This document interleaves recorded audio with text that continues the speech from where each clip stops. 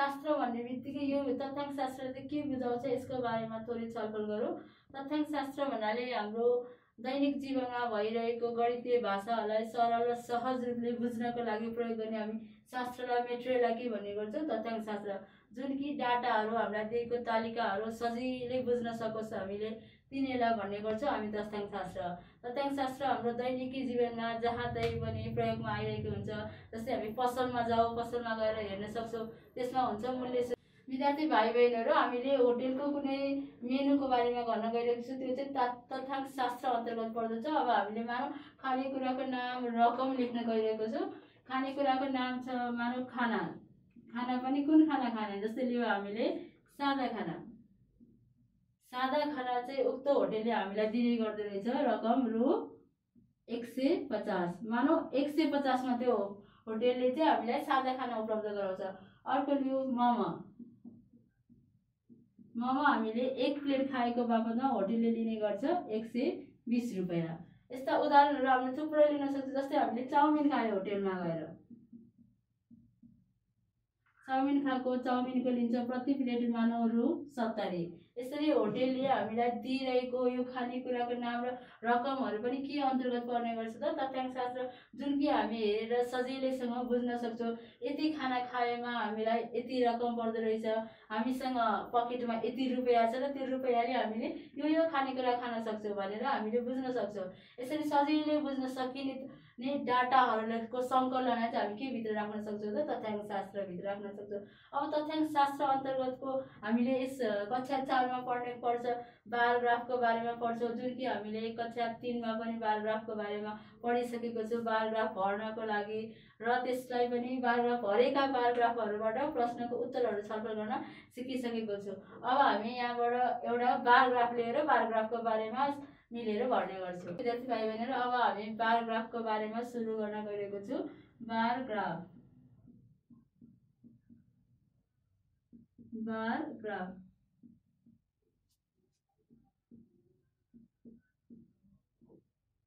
bar graph bar ग्राफहरू भन्नाले हामी ग्राफमा दिएको डाटाहरूलाई स्तम्भ चित्रको रूपमा देखाउने गर्छौँ जसलाई हामी भन्ने गर्छौँ बार ग्राफ अब हामीलाई मानव कुनै प्रश्न दिएको छ। तल दिएको तालिकालाई। तल दिएको तालिकालाई। तालिकालाई बार ग्राफमा बार ग्राफमा प्रस्तुत गर। प्रस्तुत गर। हामीलाई कुनै तालिका दियो। तल दिएको तालिकालाई बार ग्राफमा प्रस्तुत गर। अब हामी एउटा तालिका बनाउँदैछौँ।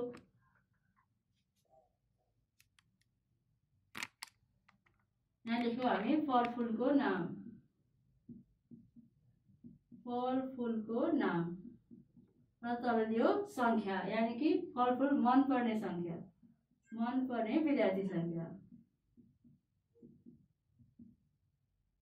मनपर्ने विद्यार्थी सङ्ख्या अब हामी लेख्दैछौँ फलफुलको नाम र फलफुल मन पराउने विद्यार्थीको सङ्ख्या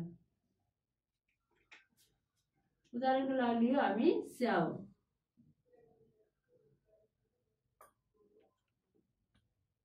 स्याउ। स्याउ कतिजनालाई मनपर्छ उदाहरणको लागि मानौँ आठजनालाई। स्याउ मन पराउने हाम्रो विद्यार्थीको सङ्ख्या रहेछ। आठजना। त्यस्तै गरी अर्को खानेकुराको नाम लियो हामी फलफुलको नाम लियो सुन्तला। सुन्तला मन पराउने मानव विद्यार्थीको सङ्ख्या रहेछ सिक्स छजना। यानि कि छजना विद्यार्थीहरूले चाहिँ सुन्तला मन पराउने गर्छ। जस्तै अर्को उदाहरणलाई लियो हामी अङ्गुर। अङ्गुरलाई लिदियो अङ्गुर मन पराउने विद्यार्थीको सङ्ख्या रहेछ मानौ चारजना। चारजना विद्यार्थीहरूले अङ्गुर मन पराउने रहेछ। अर्को उदाहरण जस्तै गरी हामी लिन सक्छौँ मेवा। मेवा मन पराउनेको विद्यार्थी सङ्ख्या रहेछ मानौ पाँच। स्याउ मन पराउने आठजना छ विद्यार्थीको सङ्ख्या त्यसै गरी सुन्तला मन पराउने विद्यार्थीको सङ्ख्या रहेछन् छजना र अङ्गुर मन पराउने विद्यार्थी सङ्ख्या चारजना अर्को छ मेवा मन पराउने विद्यार्थी सङ्ख्या पाँचजना त्यसै गरी अब हामी अन्तिम एउटा उदाहरण लियौँ मतलब कुनै फलफुलको नाम लेख्यो कटहर कटहर मन पराउने विद्यार्थीको सङ्ख्या रहेछ हामीले कति लिन सक्छौँ मानौ? चार चारजनालाई लिए अब हेरौँ। स्याउ मन पराउने आठजना सुन्तला मन पराउने छजना अङ्गुर मन पराउने चारजना मेवा मन पराउने पाँचजना र अन्तिममा रहेको चाहिँ एउटा फलफुल कटहर। कटहर मन पराउने विद्यार्थीको सङ्ख्या रहेछ चारजना। अब यसलाई हामीले बारग्राफमा देखाउन सक्छौँ। भाइ बहिनीहरू अब हामी यो उक्त दिएको तालिकालाई बारग्राफमा भर्न गइरहेको छु। बारग्राफ भर्नको लागि सबैभन्दा पहिला हामी स्केल र पेन्सिलको प्रयोग गरेर भर्ने गर्छौँ। अब मैले स्केल यहाँ लिएर एउटा बारग्राफ तयार गर्न गइरहेको छु। हामीले ठाडो रेखा अब यहाँनिर ठाडो रेखा भर्न गइरहेको छु। ठाडो रेखा यसरी। स्केल प्रयोग गरेर ठाडो रेखा यहाँनिर कोर्न गइरहेको छु। र त्यसै गरी अब हामी तेर्सो लाखे रेखा गर्छौँ ठाडो रेखामा राख्ने गर्छौँ हामी। विद्यार्थीको सङ्ख्या र तेर्सो रेखामा राख्ने गर्छौँ हामी फलफुलको नाम सवारी साधनको नाम माथि जेको नाम दिएको छ त्यसलाई राख्ने गर्छौँ हामी। तेर्सो रेखामा र विद्यार्थीहरूको सङ्ख्याहरूलाई राख्ने गर्छौँ हामी जहिले पनि ठाडो रेखामा यानि कि होरिजेन्टल लाइन र भर्टिकल लाइन गरेर। अब मैले सुरु गरेँ तेर्सो लाइनमा। स्केलको प्रयोग गरेर तेर्सो लाइन खिच्न सक्छौँ हामी। यसरी।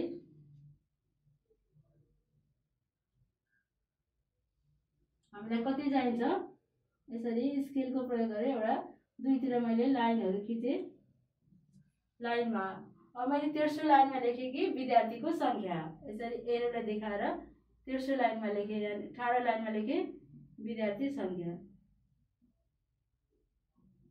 ठाडो लाइनमा लेखेँ विद्यार्थी सङ्ख्या। र अर्को छ हामीसँग विद्यार्थी मनपर्ने। फलफुलहरू मनपर्ने विद्यार्थी सङ्ख्याले हामीले जनायो ठाडो लाइनमा। त्यसै गरी म तेर्सो लाइनमा के लेख्न गइरहेको छु त? फलफुलहरूको नाम। अब तेर्सो लाइनमा हामी लेख्न गइरहेको छौँ फलफुलको नाम। फलफुलको नाम। फलफुलको नाम। हामीले लेख्यौँ कि ठाडो लाइनमा लेख्यो। विद्यार्थी सङ्ख्या तेर्सो लाइनमा लेख्यो फलफलको नाम। विद्यार्थी भाइ बहिनीहरू याद गर्नु गर कि त्यो ठाडो लाइनमा लेख्छौँ हामी जहिले पनि। सङ्ख्या र तेर्सो लागि लाइनमा लेख्ने गर्छौँ नामहरू। अब हामीले तालिकामा दिएको अनुसार भर्नु छ हामीलाई यिनीहरूको सङ्ख्या दिएको छ स्याउको आठ सुन्तलाको छ अङ्गुरको चार मेवाको पाँच र त्यसै गरी कटहरको चार। अब हामी यो ठाडो लेखेको लाइनमा चाहिँ के राख्ने गर्छौँ? सङ्ख्याको नाम। यानि कि एक दुई तिन चार गर्दै अब हामी सङ्ख्याहरू गरौँ। तिमीहरूले लिएको सङ्ख्याहरू ग्राफ अनुसार यहाँ उदाहरण दिएर म गर्दैछु। एक यसरी। दुई तिन चार पाँच छ सात आठ नौ दस। मैले ठाडो लाइनमा लेखेँ कि दसजना विद्यार्थीहरूको सङ्ख्या। यानि कि एक दुई तिन चार गर्दै हामी कतिवटा सङ्ख्याहरू छन् त? दसजना विद्यार्थीहरूको सङ्ख्या। अब म तेर्सो लाइनबाट लिन थालिरहेको छु स्याउको हामी स्याउको यसमा चित्र बनाउँछौँ। त्यसै गरी सुन्तला गरे। हामी ठाडो स्तम्भ रेखाहरूको यसको चित्र बनाउन गइरहेको छौँ। हामी स्याउको छ विद्यार्थीको सङ्ख्या आठजना। यानि कि हाम्रो विद्यार्थी सङ्ख्याहरू कति छन् त? आठजना आठजना विद्यार्थीहरूले स्याउ फलफुल मन पराउँछन्। अब हामी भन्छौँ आठजना यानि कि आठको लाइन यसरी। यसरी आठको लाइन। यानि कि यो डट लगाउनको लागि मात्र प्रयोग गरेको। अब हामी ग्राफ अनुसार यस्तो हुँदैन। अब आठजनाको हामी भर्छौँ तर तेर्सो लाइनमा हामी गर्ने गर्छौँ यसरी। आठजना विद्यार्थीको सङ्ख्या। यो भयो हाम्रो स्याउ मन पराउने विद्यार्थी आठजना अब हामी यसलाई यसरी बन्द गरिदिउँ। यानि कि चित्र बनाएर।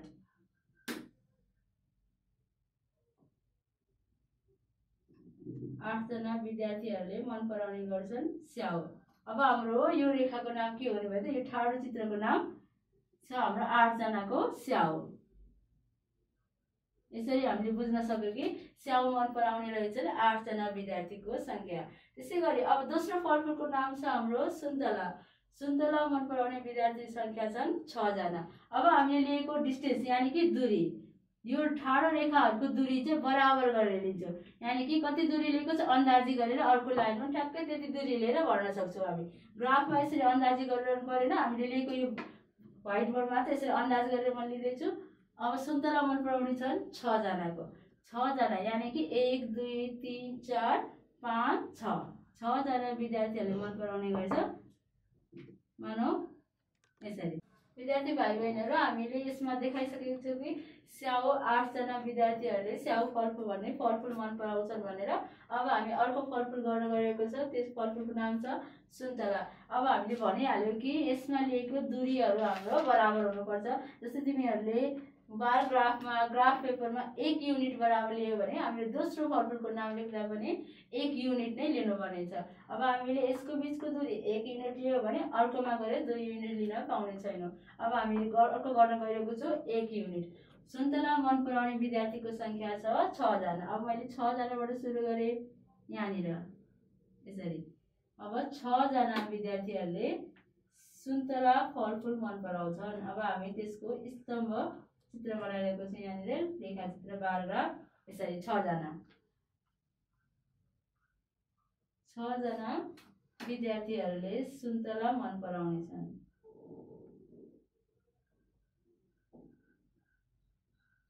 यसरी।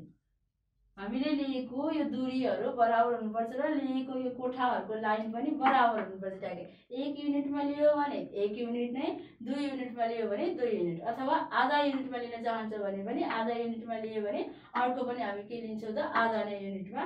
यसपछि अर्को लिन गइरहेको छु अङ्गुर। अङ्गुर भने फलफुल मन पराउने विद्यार्थीको सङ्ख्या रहेछ चारजना। अब हामी चारजना काउन्ट गर्छौँ। वान टू थ्री फोर चारजना विद्यार्थीहरूले के मन पराउँछन् त फलफुल। फलफुलमा कुन परेको छ? अङ्गुर। अङ्गुर भन्ने फलफुल मन पराउँदा रहेछन् चारजना विद्यार्थीहरूले यसरी अङ्गुर मन पराउने विद्यार्थीको सङ्ख्या छन्। चारजना। अघि हामीले भनिहाल्यो यस्तो दुरीहरू यसको युनिटहरू बराबर हुनुपर्छ।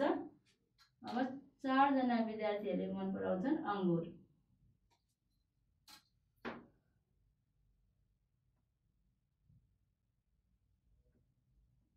अङ्गुर मन पराउने विद्यार्थीको सङ्ख्या रहेछ चारजना। स्याउ मन पराउनेको छ लाइन हेरेर हामी पत्ता लगाउन सक्छौँ कतिजना छ? आठजना। त्यसै गरी अर्को छ सुन्तला। सुन्तला मन पराउने विद्यार्थीको सङ्ख्या छन् हाम्रो? छजना। अब अर्को छ अङ्गुर मन पराउने विद्यार्थीको सङ्ख्या यसरी चारजना। हामी हेर्नको लागि बुझ्नको लागि लाइन कोर्दैछौँ। कोर्न जरुरी छैन। अब अर्को फल विद्यार्थी भाइ बहिनीहरू हाम्रो पहिलो स्तम्भ भएको छ स्याउको त्यसै गरी दोस्रो दोस्रो स्तम्भ छ सुन्तलाको। दोस्रो स्तम्भलाई हामी तलले जनाऊ तल जनाऊ सुन्तला। यानि कि सुन्तला मन पराउने विद्यार्थीको सङ्ख्या छन् छजना। त्यसै गरी हामी तेस्रो स्तम्भ बनाइसकेको छौँ। तेस्रो स्तम्भमा चारजना छन् कि जुन कि के मन पराउँछन् त अङ्गुर मन पराउने। अब यसको तल हामी जनाइदिउँ। अङ्गुर। अङ्गुर मन पराउने विद्यार्थीको सङ्ख्या रहेछन् चारजना। अब हाम्रो अर्को चौथो फलफुलको नाम चाहिँ मेवा। मेवा मन पराउने विद्यार्थीको सङ्ख्या छन् पाँचजना। अब हामी पाँचजनालाई कोरौँ। यसरी। सजिलैसँग हामी पाँचजना लिन सक्छौँ लाइन गरेर हेर्दैछौँ हामी। यति ल पाँचजना। अब हामी मेवा मन पराउने विद्यार्थीको सङ्ख्या रहेछ पाँचजना।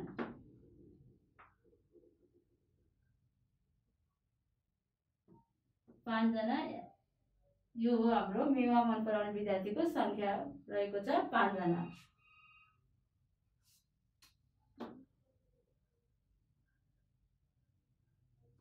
यो हो मेवा। मेवा मन पराउने विद्यार्थी सङ्ख्या छन् पाँचजना। यसरी हामीले स्याउ रह्यो आठजना सुन्तला रह्यो छजना अङ्गुर भयो चारजना त्यसै गरी मेवा मन पराउने विद्यार्थीको सङ्ख्या छन् पाँचजना।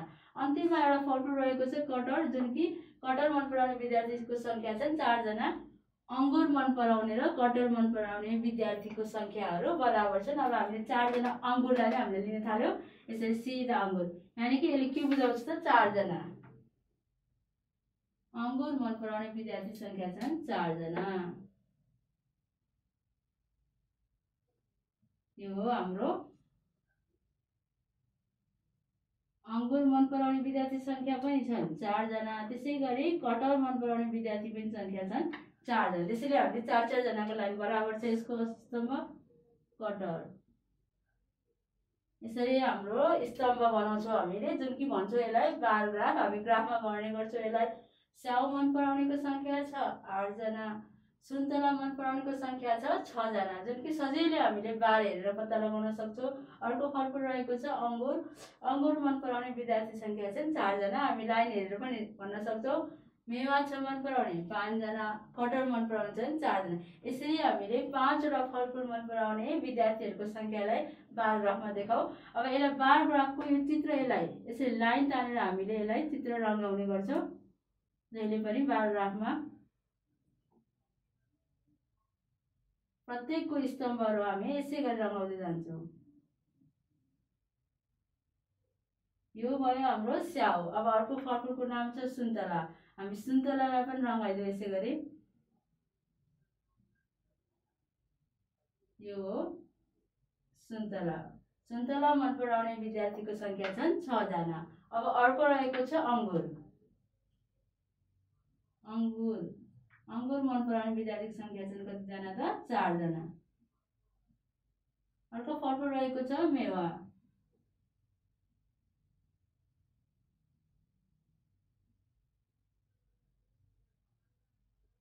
मेवा मन पराउने छन् पाँचजना र अन्तिममा एउटा फलफुल रहेको छ कटहर कटहर मन पराउने छन् चारजना विद्यार्थीको सङ्ख्या हाम्रो यसरी पाँचवटा फलफुल मन पराउने विद्यार्थीको सङ्ख्याहरूलाई हामीले केमा देखायो त? बार ग्राफ अब हाम्रो बार तयार भयो यसरी यो हो हाम्रो बार ग्राफ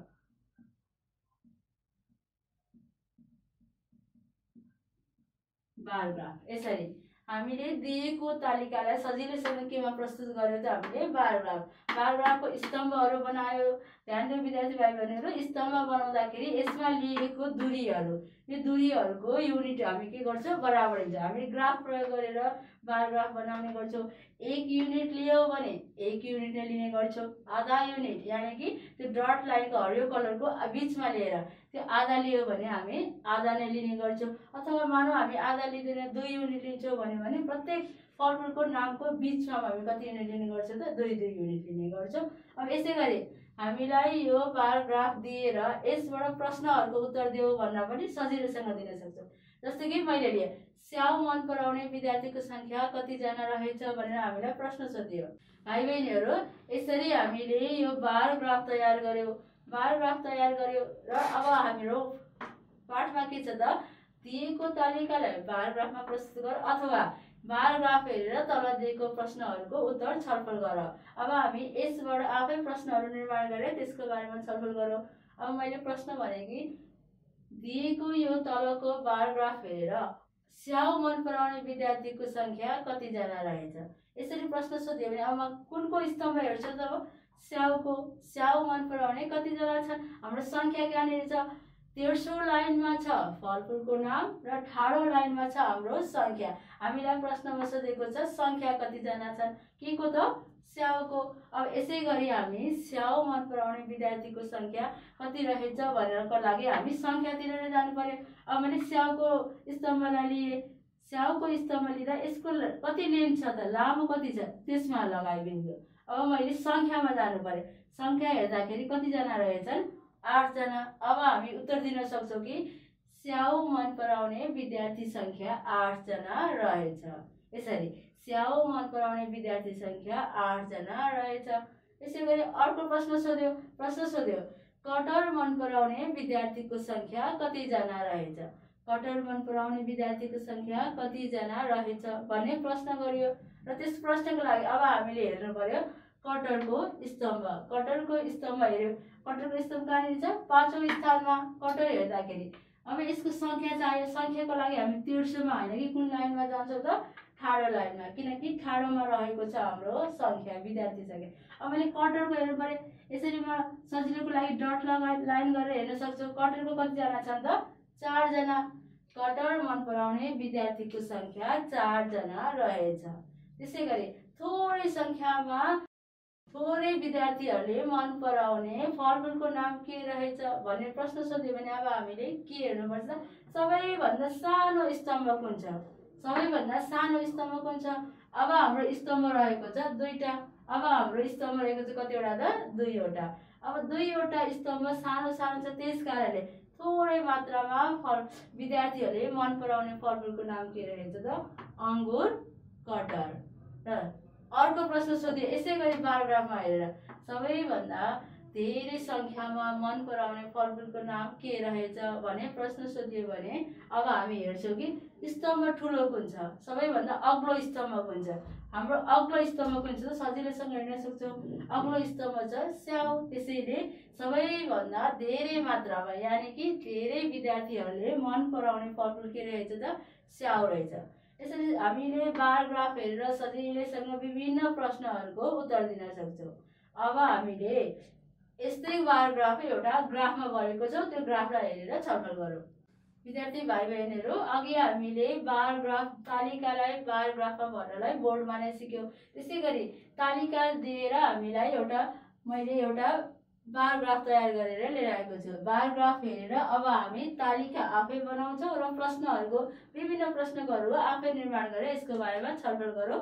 अब हामीलाई यहाँ दिएको छ बार ग्राफ। हामीले भनिसक्यो कि ठाडो लाइनमा जहिले पनि हुन्छ। सङ्ख्या र तेर्सो लाइनमा हुने गर्छ नाम। अब हामीले अघि फलफुलको नामको लिएर हामीले उदाहरण लिएको थियौँ। अब हामीलाई दिएको छ साधनको नाम। यानि कि हामी चढ्ने गरेको सवारी साधनहरूको नाम। अब हामीले यहाँनिर लिएको छ साधनहरूको नाम taxi jeep bus truck tempo micro र साइकल गरेर हामीले कतिवटा साधनहरू लियो त एक दुई तिन चार पाँच छ सात सातवटा सवारी साधनहरूको नाम लिएर यसको स्तम्भहरू बनाएको छ ल हेरौँ भाइ बहिनीहरू सङ्ख्या र साधनको नाम साधनहरू लिएको छौँ हामीले सातवटा साधनहरू र अब सङ्ख्याहरू हेर है त अघि हामीले सङ्ख्याहरूमा के गरेको थियो र यहाँ फरक के छ? अब एकचोटि अघि गरेको सङ्ख्या र अहिले हेरेको सङ्ख्यामा हामीले फरक के देख्न सक्छौँ? त्यसको बारेमा हेरौँ। सङ्ख्याले हामीले लिएको छौँ पाँच दस पन्ध्र बिस पच्चिस तिस। यानि कि पाँच पाँचको डिस्टेन्समा लिइरहेको छ। हामीले यसको दुरी कति त? पाँच पाँच गर्दै लिइरहेको छौँ। पाँच दस पन्ध्र बिस पच्चिस तिस पैँतिस चालिस पैँतालिस पचास पचपन्न साठी पैँसठी। यसरी लाइनेसँग गरेर हामीले पाँच पाँचको दुरीमा हेर्न सक्छौँ कि हामी पाँच पाँचको दुरीमा लिएर हामीले एउटा स्तम्भ चित्र तयार गरेको छौँ। अब अघि लिएको हामीले दुरीमा चाहिँ एक एक गरेर एक एक दुरी लिएको थियो। अब हामीले लियो कति त? पाँच पाँच। अघि किन एक एक लियो? र अहिले किन पाँच पाँच लियो? त्यसको बारेमा थोरै छलफल गरौँ। अघि हाम्रो विद्यार्थीको सङ्ख्या चाहिँ एकदमै थोरै यानि कि ठुलो स्तम्भ नै थियो हाम्रो आठजना। त्यही भएर हाम्रो बार ग्राफमा हाम्रो कपीमा अट्ने हुनाले हामीले लियो एक दुई तिन चार गर्दा अब यसै गरी यहाँ हेरौँ त सबैभन्दा ठुलो स्तम्भ हाम्रो कति छ त? पचपन्न यानि कि पचपन्नजना छन्। अब हामीले कपीमा यसै गरी एक दुई तिन चार पाँच छ गर्दै पचपन्नसम्म लेख्यो भने हाम्रो कपीमा अट्ला त पक्कै अट्दैन नअट्ने हुनाले सजिलोको लागि हामी के लिन सक्छौँ त? एक युनिट बराबर पाँच अथवा एक युनिट बराबर दस। हामीले लिएको दुरीहरू चाहिँ जहिले पनि बराबर हुनुपर्छ भन्न खोजेको कुरा। मैले एकचोटिमा पाँच लिएँ भने अब म जहिले नि के लिन्छु त? पाँच पाँचको दुरी। पाँच दस पन्ध्र बिस गर्दै यसरी पाँच पाँचले बढ्ने गर्छौँ। सजिलोको लागि अब हामीले लिएको छौँ पाँच पाँच। अब यसको बारेमा थोरै कुरा गरौँ। ट्याक्सी ट्याक्सी चढ्ने विद्यार्थीको सङ्ख्या कति रहेछ हेर्नु त यहाँनिर है। बिसजना। हामीले देख्न सक्यौँ यो ट्याक्सीको लाइन छ बिसजना। यानि कि ट्याक्सी चढ्ने विद्यार्थीको सङ्ख्या रहेछ बिसजना। त्यसै गरी दोस्रो सवारी साधनको नाम छ जिप। जिप कतिजना रहेछ ल यसको? कति लामो छ यसको लेन्थ हेर्नु त ठाडो। यहाँ छ हाम्रो कतिजना त पचपन्नजना। जीव मन पराउने विद्यार्थीको सङ्ख्या रहेछन् पचपन्नजना यिनीहरूको सङ्ख्या छन् पचपन्नजना त्यसै गरी बस कतिजना छ त ल? बस चेक गरौँ। बस रहेछ हाम्रो चालिसजना बस मन पराउने यानि कि बस चढ्न रुचाउने सङ्ख्या कति छन्? चालिसजना त्यसै गरी अर्को छ ट्रक। ट्रक चढ्ने कतिजना छन् त? पैँतिसजना र अर्को लियो हामीले टेम्पो। टेम्पो चढ्न रुचाउनेको सङ्ख्या रहेछ बिसजना। अर्को लिउँ हामी माइक्रो बस यानि कि माइक्रो माइक्रो चढ्न रुचाउनेको सङ्ख्या छन् पचासजना। अब अर्को लिउँ हामी अन्तिममा छ साइकल साइकल चढ्न रुचाउनेको सङ्ख्या के छ त? दसजना। यसरी हामीले एउटा बार ग्राफ तयार गरेको छौँ। बार ग्राफमा चाहिँ हामीले के गर्यो त? एक युनिट बराबर कतिको सङ्ख्या लियो? पाँचजना। यानि कि एक एकाइ बराबर। हामीले लिएको यो ग्राफको युनिट। यो बराबर कति कतिजनाको लिइरहेछ? पाँचजना। लिएको लाइनलाई पाँच पाँचजनाको गरेर हामीले लिइरहेको छ। अब यसको बारेमा छलफल गरौँ। अब मलाई प्रश्न सोध्यो। मानौ कि प्रश्न नम्बर एकमा सबैभन्दा धेरै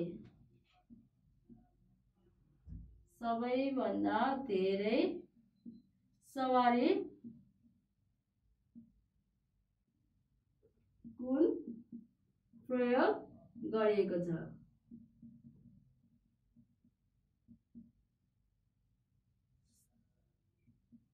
सबैभन्दा धेरै सवारी साधन कुन प्रयोग गरिन्छ? यानि कि प्रश्नले भन्न खोजेको कुरा सबैभन्दा मा धेरै मानिसले कुन चाहिँ सवारी साधन प्रयोग गरिएको छ? अब हामीले हेर्नु पर्यो यसमा धेरै धेरै भन्ने बित्तिकै लामो स्तम्भ सबभन्दा अग्लो स्तम्भ। अब हामी अग्लो स्तम्भ कुन छौँ? बायोग्राफमा हेरौँ अग्लो स्तरमा कहाँनिर छ हाम्रो अग्लो स्तरमा कहाँ रहेको छ त? दोस्रो स्थानमा। दोस्रो स्थानमा सबैभन्दा अग्लो के छ? पचपन्नजना यानि कि पचपन्नजना मानिसहरूले जीव प्रयोग गर्ने गर्दछन्। अब हामी लेख्न सक्छौँ यहाँनिर सबैभन्दा धेरै कुन सवारी साधन प्रयोग गर्छौँ त? जी विद्यार्थी भाइ बहिनीहरू अब हामी लेख्न सक्छौँ सबैभन्दा धेरै मानिसले जीव प्रयोग गर्दछन्। सबैभन्दा धेरै मानिसले जीव प्रयोग गर्दछन्। यसको उत्तरमा अब हामी लेखौँ सबैभन्दा धेरै मानिसले जीव प्रयोग गर्दछन्। सबैभन्दा धेरै मानिसले जीव प्रयोग गर्दछन्। त्यस्तै गरी मलाई नम्बर दुईमा अर्को प्रश्न गरियो। सबैभन्दा थोरै अघि हामी धेरै गएको थियो अब हामी जान्छौँ थोरैमा। सबैभन्दा थोरै मानिसले प्रयोग गर्ने प्रयोग गर्ने सवारी साधन। सवारी साधन कुन रहेछ? कुन रहेछ? अब हाम्रो प्रश्न रहेको छ सबैभन्दा थोरै मानिसले प्रयोग गर्ने सवारी साधन कुन रहेछ? अघि हामीले धेरै भन्ने बित्तिकै अग्लो स्तरमा गएको थियो। अब हामीलाई भनेको छ थोरै यानि कि थोरै भन्ने बित्तिकै सानो स्तम्भमा जानु पर्यो अब हाम्रो सानो स्तम्भ कहाँनिर रहेको छ त? सबैभन्दा अन्तिममा।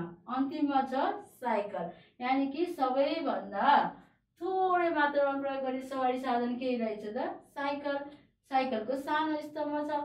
धेरै भन्ने बित्तिकै हामी भाइ बहिनीहरू ठुलोमा जान्छौँ स्तम्भ र थोरै भन्ने बित्तिकै हामी जान्छौँ सानो स्तम्भमा। अब हामीले लेख्न सक्यो सबैभन्दा थोरै मानिसले प्रयोग गर्ने सवारी साधन साइकल रहेछ। यसको उत्तरमा लेखौँ। उत्तर सबैभन्दा थोरै थोरै मानिसले साइकल प्रयोग गर्दा रहेछन् सबैभन्दा थोरै मानिसले प्रयोग गर्ने प्रयोग गर्ने सवारी साधन। सवारी साधनको नाम के रहेछ त? साइकल रहेछ। साइकल रहेछ। सबैभन्दा थोरै मानिसले प्रयोग गर्ने सवारी साधन के रहेछ त? साइकल रहेछ। भाइ बहिनीहरू अब हामीले अघि हामीले दुईवटा प्रश्नहरू आफै निर्माण गरेर त्यसको उत्तरहरू खोज्यौँ। अब हामी अन्य प्रश्नहरूको बारेमा पनि यही बायोग्राफ हेरेर यसको बारेमा छलफल गरौँ। अर्को प्रश्न लेखौँ हामी। त्यो प्रश्न अर्को लेखेँ मैले अघि एक दुई भएको थियो। अब हाम्रो तिन नम्बरमा लेख्ने गइरहेको छ। बायोग्राफहरू है त? कति प्रकारका सवारी साधन? कति प्रकारका सवारी साधन? कति प्रकारका सवारी साधन प्रयोग गरिएको रहेछ?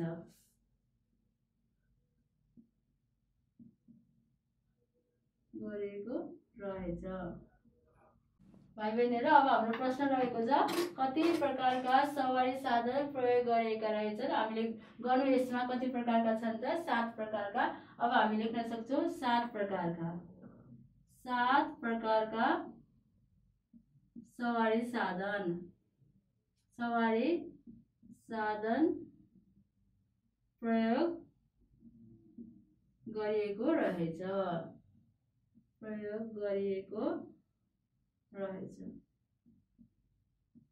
हाम्रो प्याराग्राफमा कति प्रकारका त सात प्रकारका सवारी साधनहरू प्रयोग गरिएको रहेछ। त्यस्तै गरी अर्को प्रश्न गरियो हामीलाई। नम्बर चारमा मानव हाम्रो ट्रक। ट्रक प्रयोग गर्ने। ट्रक प्रयोग गर्ने मानिसको ट्रक प्रयोग गर्ने मानिसको सङ्ख्या कति रहेछ? हाम्रो प्रश्न छ ट्रक प्रयोग गर्ने मानिसको सङ्ख्या कति रहेछ? अब हामी ट्रक मन पराउने मानिसको सङ्ख्या कति रहेछ? यानि कि ट्रक प्रयोग गर्ने मानिसहरू। अब हामी ट्रकमा जाउँ ट्रकको स्तम्भले सङ्ख्यालाई कहाँनिर छोएको छ? ट्रकले हेरौँ ट्रकको सङ्ख्या कति छ त? पैँतिस। ट्रकको स्तम्भले सिधा हाम्रो सङ्ख्यालाई कतिमा छोएको छ? पैँतिसजना। हामी यसरी हेर्न पनि सक्छौँ। ट्रक कतिले छोयो त? पैँतिस। यानि कि ट्रक प्रयोग गर्ने मानिसको सङ्ख्या कति रहेछ त? पैँतिसजना। ट्रक। ट्रक प्रयोग गर्ने प्रयोग गर्ने मानिसको मानिसको सङ्ख्या पैँतिस रहेछ। ट्रक प्रयोग गर्ने मानिसको सङ्ख्या पैँतिस रहेछ। यसरी हामी धेरै धेरै प्रश्नहरू निर्माण गरेर छलफल गर्न सक्छौँ जस्तै बराबर मानिसहरूले कुन सवारी साधनहरू प्रयोग गर्छन्? यानि कि बराबर मानिसले। अब हाम्रो स्तम्भ हेर्न सक्छौँ हामी बराबर मानिसले कुन कुन सवारी साधन प्रयोग गर्न सक्छ? मानव बिस बिस यो दुइटा के छ त? बराबर सवारी साधन प्रयोग गर्ने मानिसको सङ्ख्या। यसको उत्तरमा भयो बराबर मानिसहरूले ट्याक्सी र टेम्पो प्रयोग गर्दा रहेछ। सजिलोसँग बुझ्न सक्छौँ मानवहरूको माइक्रो माइक्रो चढ्ने यानि कि माइक्रो प्रयोग गर्ने मानिसहरूको सङ्ख्या कति रहेछ? अब हामी माइक्रोको स्तम्भलाई हेऱ्यौँ यसरी। माइक्रो कतिजना छन् त? पचासजना। माइक्रो प्रयोग गर्ने मानिसको सङ्ख्या रहेछ पचासजना। यसरी हामीले एउटा बार ग्राफ तयार गर्यो। यो बार ग्राफ चाहिँ के अन्तर्गत पर्ने गर्छन् त? गर्छ त तथ्याङ्क शास्त्र। यसले हामीलाई के झल्काउँछ तथ्याङ्क शास्त्र। हामीले यसरी पाराग्राफ सजिलोसँग बुझ्न सक्यौँ। त्यो सजिलोसँग बुझ्न सक्ने डाटा नै हाम्रो के हो त? तथ्याङ्क शास्त्र। हामीले जति पनि प्रयोगमा आउने तालिकाहरू देख्न सक्छौँ त्यो सबै के भित्र पर्छन्। तथ्याङ्क शास्त्रभित्र पर्ने गर्छ। र यो हामीले पढ्यो बारग्राफ तथ्याङ्क शास्त्रभित्र पर्ने गर्दछ। विद्यार्थी भाइ बहिनीहरू अघि हामीले बार ग्राफ भरेर त्यसको बारेमा छलफल गरिसकेको थियो। अब हामी सँगसँगै एउटा टेबल बनाएर त्यसलाई हामी बार ग्राफमा तयार गरौँ। अब हामीले एउटा टेबल लियो। जस्तै टेबलमा विद्यार्थीको सङ्ख्या अथवा मानिसको सङ्ख्या। अब मैले लिएँ है त। यसमा। अब सहरहरूको नाम लियो। कुन सहर कतिजना मानिसहरूले मन पराउँछन् भनेर? अब लिएँ मैले सहरको नाम। सहरको नाम र मन पराउने सङ्ख्या। मन पराउने सङ्ख्या।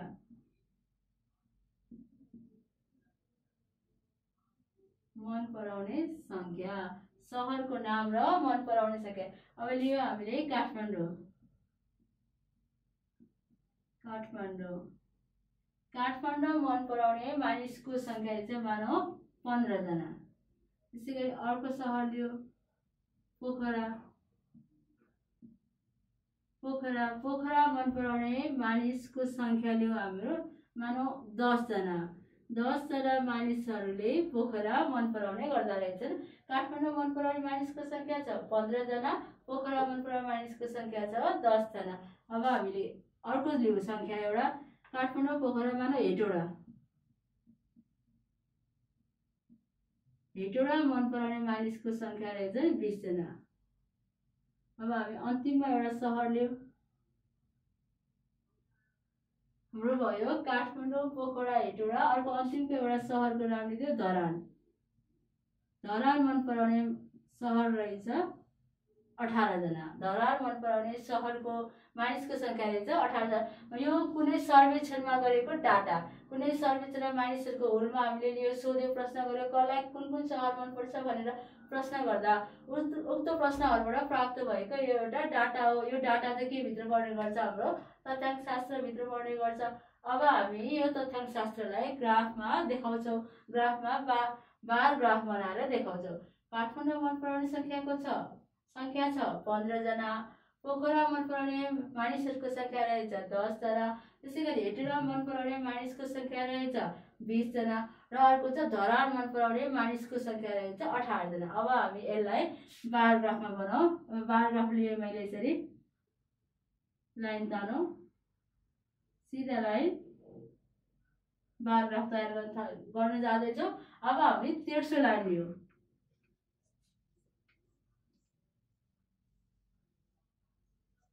ठाडो लाइन र तेर्सो लाइन गरेर ठाडोमा लियौँ हामी सङ्ख्या र तेर्सोमा लियौँ हामी सहरको नाम।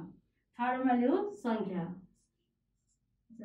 यो हो सङ्ख्या। यो हो सङ्ख्या। ठाडोमा लियो हामीले सङ्ख्या। मन पराउने सङ्ख्या। यसरी। अब हामी तेर्सोमा लियौँ त के त? सहरको नाम। सहरको नाम। ठाडो र तेर्सो गरेर लियो। ठाडोमा लियो मानिसहरूको सङ्ख्या मन पराउने र तेर्सोमा लियो। हामीले सहरको नाम हामीसँग छ पन्ध्र बि दस बिस अठार। अब हाम्रो काउन्टिङ गर्दा बिससम्म पुग्छ पुग्दैन त्यो चेक गरौँ एकदेखि काउन्ट गर्दा यसरी एक दुई तिन चार पाँच छ सात आठ नौ दस एघार बाह्र तेह्र चौध पन्ध्र सोह्र सत्र अठार उन्नाइस बिस। यसरी पुगेको कन्डिसनमा हामी एक दुई तिन चार गर्दा युनिट लिन सक्छौँ। नपुगेको कन्डिसनमा एक युनिट बराबर दुईजना विद्यार्थीको सङ्ख्या अथवा एक युनिट बराबर पाँचजना एक युनिट बराबर दसजना गरेर पनि हामी लिन सक्छौँ। अब हामीले सुरु गऱ्यौँ। काठमाडौँ पोखरा हेटुरा धरान मात्र हामीले चार सहरको बारेमा लेख्न खोजिरहेछौँ स्तम्भ चित्र बनाएर अब हामी एउटा बार ग्राफमा तयार गर्न जाँदैछौँ। काठमाडौँको सङ्ख्या छ पन्ध्रजना काठमाडौँ मन पराउने मानिसहरूको सङ्ख्या छ पन्ध्रजना अब हामी काउन्टिङ गरौँ। यसरी एक दुई लेख्नु पर्दैन यसमा काउन्टिङै यहीँ हुन्छ। अब चेक गरौँ। एक दुई तिन चार पाँच छ सात आठ नौ दस एघार बाह्र तेह्र चौध पन्ध्र। यसरी अब दुई दुई युनिटको लियो हामीले पन्ध्रजना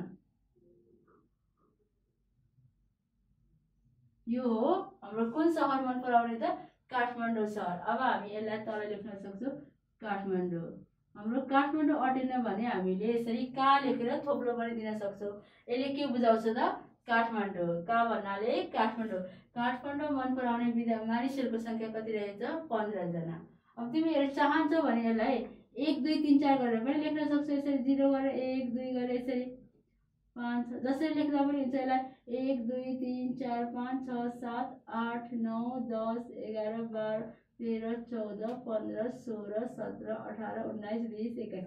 यसरी लेख्न पनि सक्छ। अथवा साइडमा यसको दायाँपट्टि यसको एक दुई तिन चार ग्राफमा आफै लेखेर भरेको हुन्छ। अर्को लेखौँ हामी पोखरा। पोखरा मन पराउने मानिसको सङ्ख्या छ दसजना। अब हामीले याद गरौँ दुईवटा युनिट छोडेको छ भने अब अर्को नेक्स्टमा हामी पोखरा मन पराउने गर्दा दुई युनिट नै लेख्छौँ हामी। एक दुई। यसरी दुई युनिट छोडेर हामी अर्को स्तम्भ बनाउँछौँ। पोखरा मन पराउने कति छ दसजना। अब हामी दसलाई काउन्ट गरौँ। एक दुई तिन चार पाँच छ सात आठ नौ दस। यसरी दुई युनिट लियो यसलाई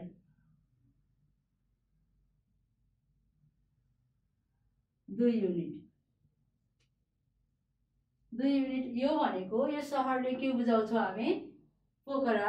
यो स्तम्भले बुझाउनु गऱ्यो पोखरा। अब हामी यसलाई जनाउँछौँ पो भनेर। पोखरा भन्ना पो भन्नाले पोखरा। हाम्रो ठाउँ पुगेन त्यही भएर क र यसरी लेख्न सक्छौँ। हामी सर्ट नोटिसन गरेर पनि यसलाई अर्कोमा जाऊ। हेटोडा हेटोडा भनेको हाम्रो कति छ? बिसजना। अब हामी बिस काउन्टी गरौँ। दुई युनिट छोडेर एक दुई तिन चार पाँच छ सात आठ नौ दस एघार बाह्र तेह्र चौध पन्ध्र सोह्र सत्र अठार उन्नाइस बिस। यसरी बिस गरेर यो हाम्रो हेटुरा मन पराउने मानिसको सङ्ख्या।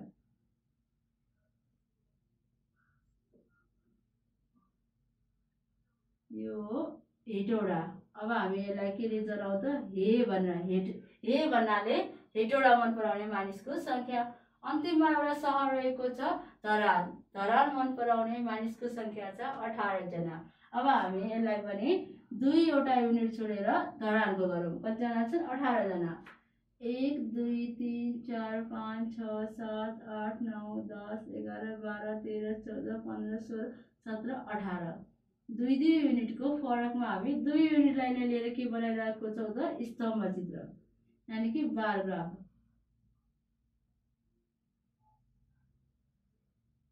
यो हाम्रो धरान धरान भन्नाले धले जनायो हामीले धरान यो धरान अब यसलाई हामीले बार ग्राफ भयो यसलाई हामीले रङ्गाउन सक्छौँ यसरी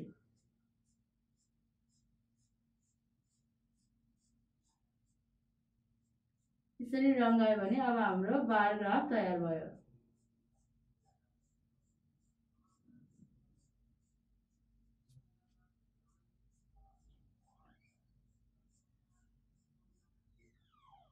यसलाई भन्छौँ हामीले बार ग्राफ।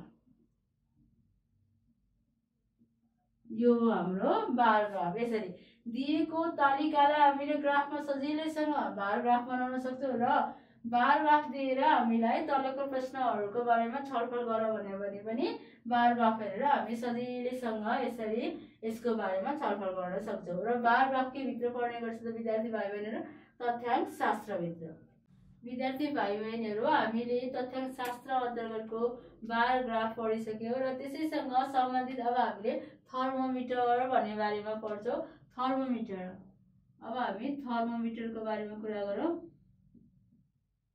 थर्मोमिटर थर्मोमिटर भन्दा चाहिँ नर्मली हामी के बुझ्छ बुझ्छौँ त नर्मली हाम्रो दिमागमा पसिहाल्छ हामीलाई कति ज्वरो आयो कति आएन अथवा नर्मल कति छ भनेर जाँच्नको लागि हामी के प्रयोग गर्छौँ थर्मोमिटर थर्मोमिटर साधारणतया कसको हातमा देख्छौँ त हामी डक्टरको हातमा। त्यसै गरी हामीले घरमा पनि हामीलाई मानव हाम्रो शरीरको तापक्रम तातो फिल भयो तातो महसुस भयो भने पनि हाम्रो बुवाले अथवा आमाले हामीलाई के गर्नुहुन्छ त थर्मोमिटर जा ए यसलाई त ज्वरो त आएन कतै भनेर थर्मोमिटर ल्याएर जाँच्ने गर्नुहुन्छ।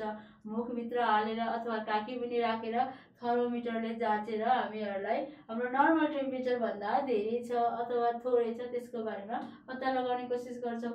र हामीले यसै गरी थर्मोमिटर लिएर आएर हामीले थर्मोमिटरको बारेमा पढ्न सक्छौँ र हामीले थर्मोमिटरको चाहिँ यहाँनिर एउटा ड्रइङ बनाएर लिएर आएको छौँ। अब त्यसको बारेमा हेर थर्मोमिटर तिमीहरूलाई घरमा पनि तिमीहरूले थर्मिटर देखेको होला थर्मिटर जाँचेर बुवाले अथवा आमाले भन्नुभयो यसलाई त यति डिग्री ज्वरो आएछ यसलाई त यस्तो भएछ भनेर त्यस कसरी जाँच्नुहुन्छ? त्यो डाटा कसरी लिनुहुन्छ?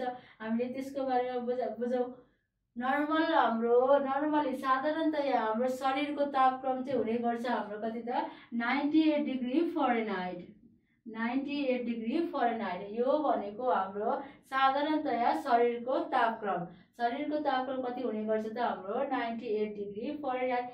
यो तापक्रमभन्दा चाहिँ धेरै भयो अथवा मानव नाइन्टी नाइन भयो हन्ड्रेड भयो हन्ड्रेड वान भयो भने चाहिँ हामीलाई के भयो त ए फलानुलाई त एक सय एक डिग्रीको ज्वरो आएछ भनेर भन्ने गरिन्छ। त्यो हामीले कसरी पत्ता लगाउँछौँ त? थर्मोमिटरबाट जाँचेर थर्मोमिटरले हामीलाई देखाउँछ। फलानुलाई एक सय एक डिग्रीको ज्वरो आयो फलानुलाई नाइन्टी नाइन डिग्रीको ज्वरो आयो र उसको बडी टेम्परेचर ठिक छ नाइन्टी एट डिग्रीको नाइन्टी एट डिग्री छ उसलाई ज्वरो आएको छैन रहेछ भनेर यसरी हामीले जाँचेर पत्ता लगाउँछौँ। र अब हामीले थर्मोमिटर हेरेर पनि पत्ता लगाउन सक्छौँ। थर्मोमिटरमा यहाँ लिएर आएको छ थर्मोमिटरमा पारो देखिरहेको छ। पारो भन्नाले पारो चाहिँ के हुन्छ त? थर्मोमिटरको माथिको टुप्पोको भागलाई हामी के भन्छौँ? पारो। जुन कि पारो हामीले मुखभित्र हाल्छौँ हाम्रो जिब्रो मुनि राख्ने गर्छौँ। जिब्रो मुनि राख्दाखेरि हाम्रो शरीरको ताप उक्त पारोमा भयो भने त्यो पारो के हुने गर्छ त? प्रसारण हुने गर्छ यानि कि चल्ने गर्छ। र त्यो चलेर कहाँनिर गएर टुङ्गिन्छ त? त्यही टुङ्गेको भागलाई चाहिँ हामी के भन्ने गर्छौँ? यति डिग्री फरेनहाइट हाम्रो शरीरको तापक्रम रहेछ।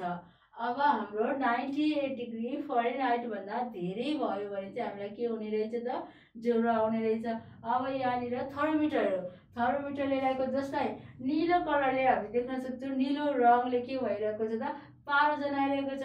पारो हाम्रो शरीरमा राखेर शरीरको ताप जाँच्न मन लाग्यो हामीलाई ताप जाँच्नु पर्यो भने शरीरको मानव कुनै जिब्रोको मुनि जिब्रोको मुनि मैले पारो राखेँ र पारो राख्दाखेरि चाहिँ त्यो पारो हाम्रो शरीरको तापले पारोले भएपछि पारोमा हाम्रो शरीरको ताप पाएपछि त्यो पारो चाहिँ के भयो त? प्रसारण भयो। प्रसारण भएर कहाँसम्म पुगेको छ एटसम्म पुगेको छ एट भन्नाले तलपट्टि लाइन हामी देख्न सक्छौँ फरेनहाइट माथि देख्न सक्छौँ सेल्सियस यसरी हाम्रो थर्मोमिटरको डिजाइन गरेको हुन्छ फरेनहाइट र सेल्सियस राखेर। अब यसको डाटा हामी कसरी सिक्नुहुन्छ त यसले बुझाउँछ ninety four ninety five ninety six ninety seven ninety eight गर्दै हाम्रो कतिसम्म पुग्छ हन्ड्रेड टू डिग्रीसम्म र त्यस्तै गरी सेल्सियसले पनि के जनाउने गर्छ त thirty five thirty six thirty seven गर्दै हामी कति डिग्रीसम्म पुग्छ त फोर्टी टू डिग्री सेल्सियससम्म चाहिँ हाम्रो थर्मोमिटरमा रहेको हुन्छ। यानि कि थर्टी फाइभ डिग्रीदेखि फोर्टी टू डिग्री सेल्सियससम्म र अर्को नाइन्टी फोर डिग्रीदेखि हन्ड्रेड टू डिग्री फरेनहाइटसम्म चाहिँ हाम्रो थर्मोमिटरमा राखेको हुन्छ। थर्मोमिटर हामीले यो गणित भन्ने विषयको तथ्याङ्क शास्त्रमा थर्मोमिटर किन राखिएको त? थर्मोमिटर हामीले थर्मोमिटर हेरेर हामीले के गर्न सक्छौँ कुनै ज्ञान लिन सक्छौँ अथवा थर्मोमिटर राखेर शरीरको तापक्रम कति रहेछ भनेर बुझ्नलाई पढ्नको लागि अरू कसैलाई ज्वरो आयो कि आएन भनेर जाँच्न मन लाग्यो भने त्यो पत्ता लगाउनको लागि चाहिँ के प्रयोग गरेको त? थर्मोमिटर थर्मोमिटरको बारेमा थप अरू जानकारी हामी विज्ञान विषयमा पढ्ने गर्छौँ र गणितले चाहिँ हामीलाई थर्मोमिटर राखेर के बुझाउन खोजेको भन्दाखेरि थर्मोमिटर चाहिँ कति पारो चढ्यो भनेर मात्र बुझाउन खोजेको छ। अब थर्मोमिटर हेरौँ। यहाँ निलो कलरले देखाएको छ जुन कि हो त पारो हो। पारोमा शरीरको ताप पाएपछि पारो के भयो? प्रसारण भयो। यो निलो कलरले चाहिँ के देखाइरहेको छ? तापको पारो प्रसारण भएको। प्रसारण कहाँनिर गएर टुङ्गेको छ त? एटमा गएर टुङ्गेको छ। माथि पनि तल पनि कतिमा गएर टुङ्गेको छ? एटमा गएर टुङ्गेको छ। एटमा गएर टुङ्ग्यो भन्नुको मतलब माथि डाटा हेऱ्यो भने सेल्सियसमा जाने भयो तल डाटा हेऱ्यो भने फरेनहाइटमा जाने भयो अब हाम्रो पारो हेरौँ उक्त पारोको कति फरेनहाइट पुगेको छ त यो निलो रङ हाम्रो कतिमा पुगेको छ माथि र तल दुवै एट एटमा पुगेको छ यानि कि सेल्सियस पनि भयो हाम्रो थर्टी एट डिग्री सेल्सियस र फरेनहाइट पनि हुने गऱ्यो हाम्रो ninety eight degree Fahrenheit normal body temperature भनेको कति हो त हाम्रो नाइन्टी एट डिग्री फरेनहाइट अब हाम्रो यो थर्मोमिटरमा चाहिँ यो पारोको डाटा कति रहेछ त? पारो नाप्दाखेरि माथि छ सेल्सियसमा थर्टी एट डिग्री सेल्सियस र फरेनहाइटमा छ नाइन्टी एट डिग्री फरेनहाइट यो थर्मोमिटरबाट हामी के जानकारी लिन सक्छौँ भने हाम्रो शरीरको तापक्रम कति रहेछ त? Ninety eight degree Fahrenheit. अब तिमीहरूले यसै गरी थर्मोमिटर प्रयोग गरेर आफूलाई ज्वरो आएको छ कि छैन? अथवा मेरो साथीलाई ज्वरो आएको छ कि छैन? अथवा मेरो मामा बाबा मम्मीलाई ज्वरो आएको छ कि छैन भनेर जाँच्न मन लाग्यो भने थर्मोमिटर हामी शरीरको कहाँनिर ताप आउँछ जिब्रो मुनि अथवा काखी मुनि राखेर त्यो तापको पारो प्रसारण भएको हेरेर कति डिग्री भयो भनेर हामीले पत्ता लगाउन सक्नेछौँ। विद्यार्थी भाइ बहिनीहरू हामीले अघि थर्मोमिटरको बारेमा पढ्यौँ। अब हामीले बार ग्राफमा पनि त्यसै गरी थर्मोमिटरको डाटा हेरेको जस्तै कति भयो भनेर त्यो पत्ता लगाउन सक्छौँ। यहाँनिर एउटा ग्राफ राखेको छ। हामीले ग्राफ राखेको छ। यो तिन कक्षामा पढेन कि चार कक्षाको लागि नयाँ च्याप्टर हो यो। अब बार ग्राफ हेरौँ है। बार ग्राफको सुरुको बिन्दु यानि कि दुईवटा लाइनहरू यसरी कट भएको हुन्छ। एउटा तेर्सो लाइन अर्को ठाडो लाइन। जहाँनिर काटेको बिन्दु छ नि हो त्यो काटेको बिन्दुलाई चाहिँ हामी के गर्ने के भन्ने गर्छ त भाइ बहिनी? जिरो। यानि कि सुरुको बिन्दु उद्गम बिन्दु भन्ने गर्छ। जहिले नि हाम्रो गणितीय अङ्कहरू कहाँबाट सुरु हुन्छ त? जेरोबाट। त्यही भएर यो काटेको बिन्दुबाट चाहिँ हामी हिँड्न सुरु गर्छौँ। यानि कि अगाडि जाने कि माथि जाने कि हो यसरी। अब हाम्रो यो काटेको बिन्दुलाई के भन्यो त? हामीले जिरो। जिरोलाई हामी के भन्छौँ अरे? उद्गम बिन्दु जहिले पनि हामी उद्गम बिन्दुबाट सुरु गर्ने गर्छौँ। अब दुईवटा लाइन देखिरहेको छौँ। एउटा छ तेर्सो लाइन अर्को छ ठाडो लाइन। एउटा छ तेर्सो लाइन अर्को छ ठाडो लाइन। अब यसमा हेरौँ है त। एउटा छ तेर्सो लाइन। तेर्सो लाइन। अर्को छ ठाडो लाइन।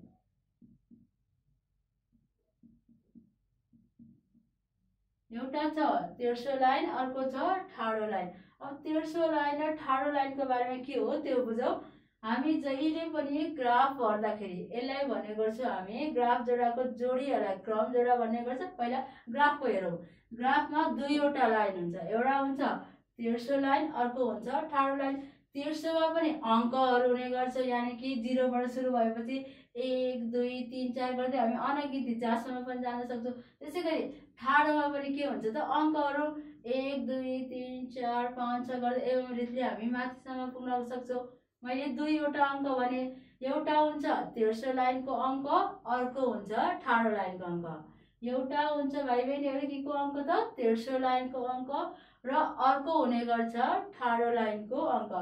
तेर्सो लाइनको अङ्क र ठाडो लाइनको अङ्कहरूलाई मिलाएर हामीले जोडा बनाएर लेख्यौँ भने त्यसलाई भन्ने गर्छौँ हामी क्रम जोडा। तेर्सो लाइनको अङ्क र ठाडो लाइनको अङ्कहरू मिलाएर हामी जोडीको रूपमा लेख्यौँ भने त्यसलाई भन्ने गर्छौँ हामी क्रम जोडा। मानौ मैले तेर्सो लाइनमा लेखेँ एकछिनलाई उदाहरणको लागि लियो तेर्सो लाइनमा मैले मा लिएँ मानौ म दुई। तेर्सो लाइनको लागि लिएँ दुई। यानि कि तेर्सो लाइनमा म दुई कहाँ गएको छु? अगाडि गएको छु। अब हेरौँ ठाडो लाइन। ठाडो लाइनमा मैले उदाहरणको लागि एकछिन मानौ ठाडो लाइनमा मैले लिएँ तिन। तेर्सो लाइनको अङ्क लिएँ दुई यानि कि अगाडि दुई भयो र अर्को लिएँ मैले ठाडो लाइनको तिन यानि कि माथि तिन। यसरी तेर्सो लाइनको अङ्क र ठाडो लाइनको अङ्कलाई मिलाएर लेख्यो भने त्यसलाई के भन्ने गर्छु त हामी? क्रम जोडा। अब यसलाई क्रम जोडाको रूपमा लेख्नु पर्यो भने के लेख्ने गर्छु त? क्रम जोडा। मात्र क्रम जोडाको रूपमा लेख्ने गरेको हामी अङ्कहरू हेर्दैछौँ। पहिला सुरुमा लेख्छु म जहिले पनि तेर्सो लाइन यानि कि तेर्सो लाइनमा भएको अङ्क। र अर्को छ ठाडो लाइन। यानि कि ठाडोमा कति अङ्क छ त्यो लेख्ने गरौँ। अब हेरौँ हामी तेर्सो लाइनमा कति छ? दुई। तेर्सो लाइनमा भयो दुई र ठाडो लाइनमा भयो तिन।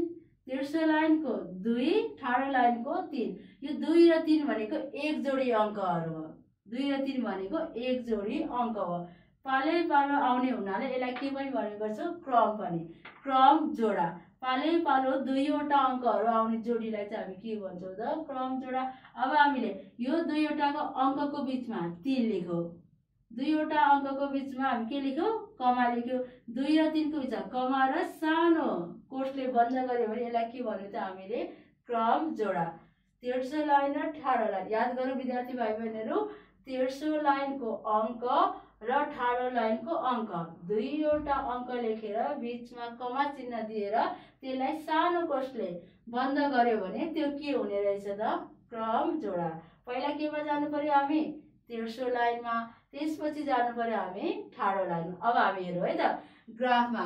पहिला हामी जान्छौँ तेर्सो लाइनमा त्यसपछि जाने गर्छौँ ठाडो लाइनमा। अब तेर्सो लाइन। उदाहरणको लिएको हामी अङ्क हेरौँ। तेर्सो लाइनमा गएँ म दुई र ठाडो लाइनमा गएँ तिन।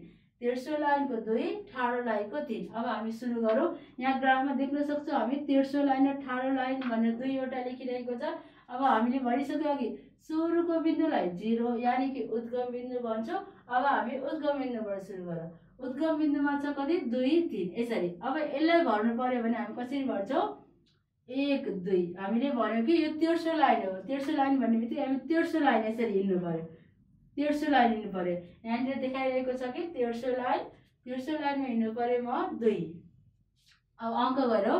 एक दुई यसरी। एक यसमा पनि हामीले अघि गरेको जस्तो बार ग्राफको जस्तो सेम हो। एक युनिट लियो भने सबैमा एक एक लिँदै जानु पर्यो। अथवा तिमीहरूले आधा लिन्छु म भनेको यो दुईवटा गाढा लाइनको बिच एउटा सानो लाइन देख्न सक्छौ हामी ग्राफमा। त्यो लाइनिङ आधा लियो भने मैले तेर्सो लाइनमा नि आधा लाइनिङमा जानुपर्ने हुन्छ ठाडो लाइनमा नि आधा लाइनमा। त्यसै गरी दुई लिएँ मैले। ठुलो देखाउनु पऱ्यो भने म दुईको डिस्टेन्समा लिन्छु यानि कि दुईको दुरीमा लिएँ।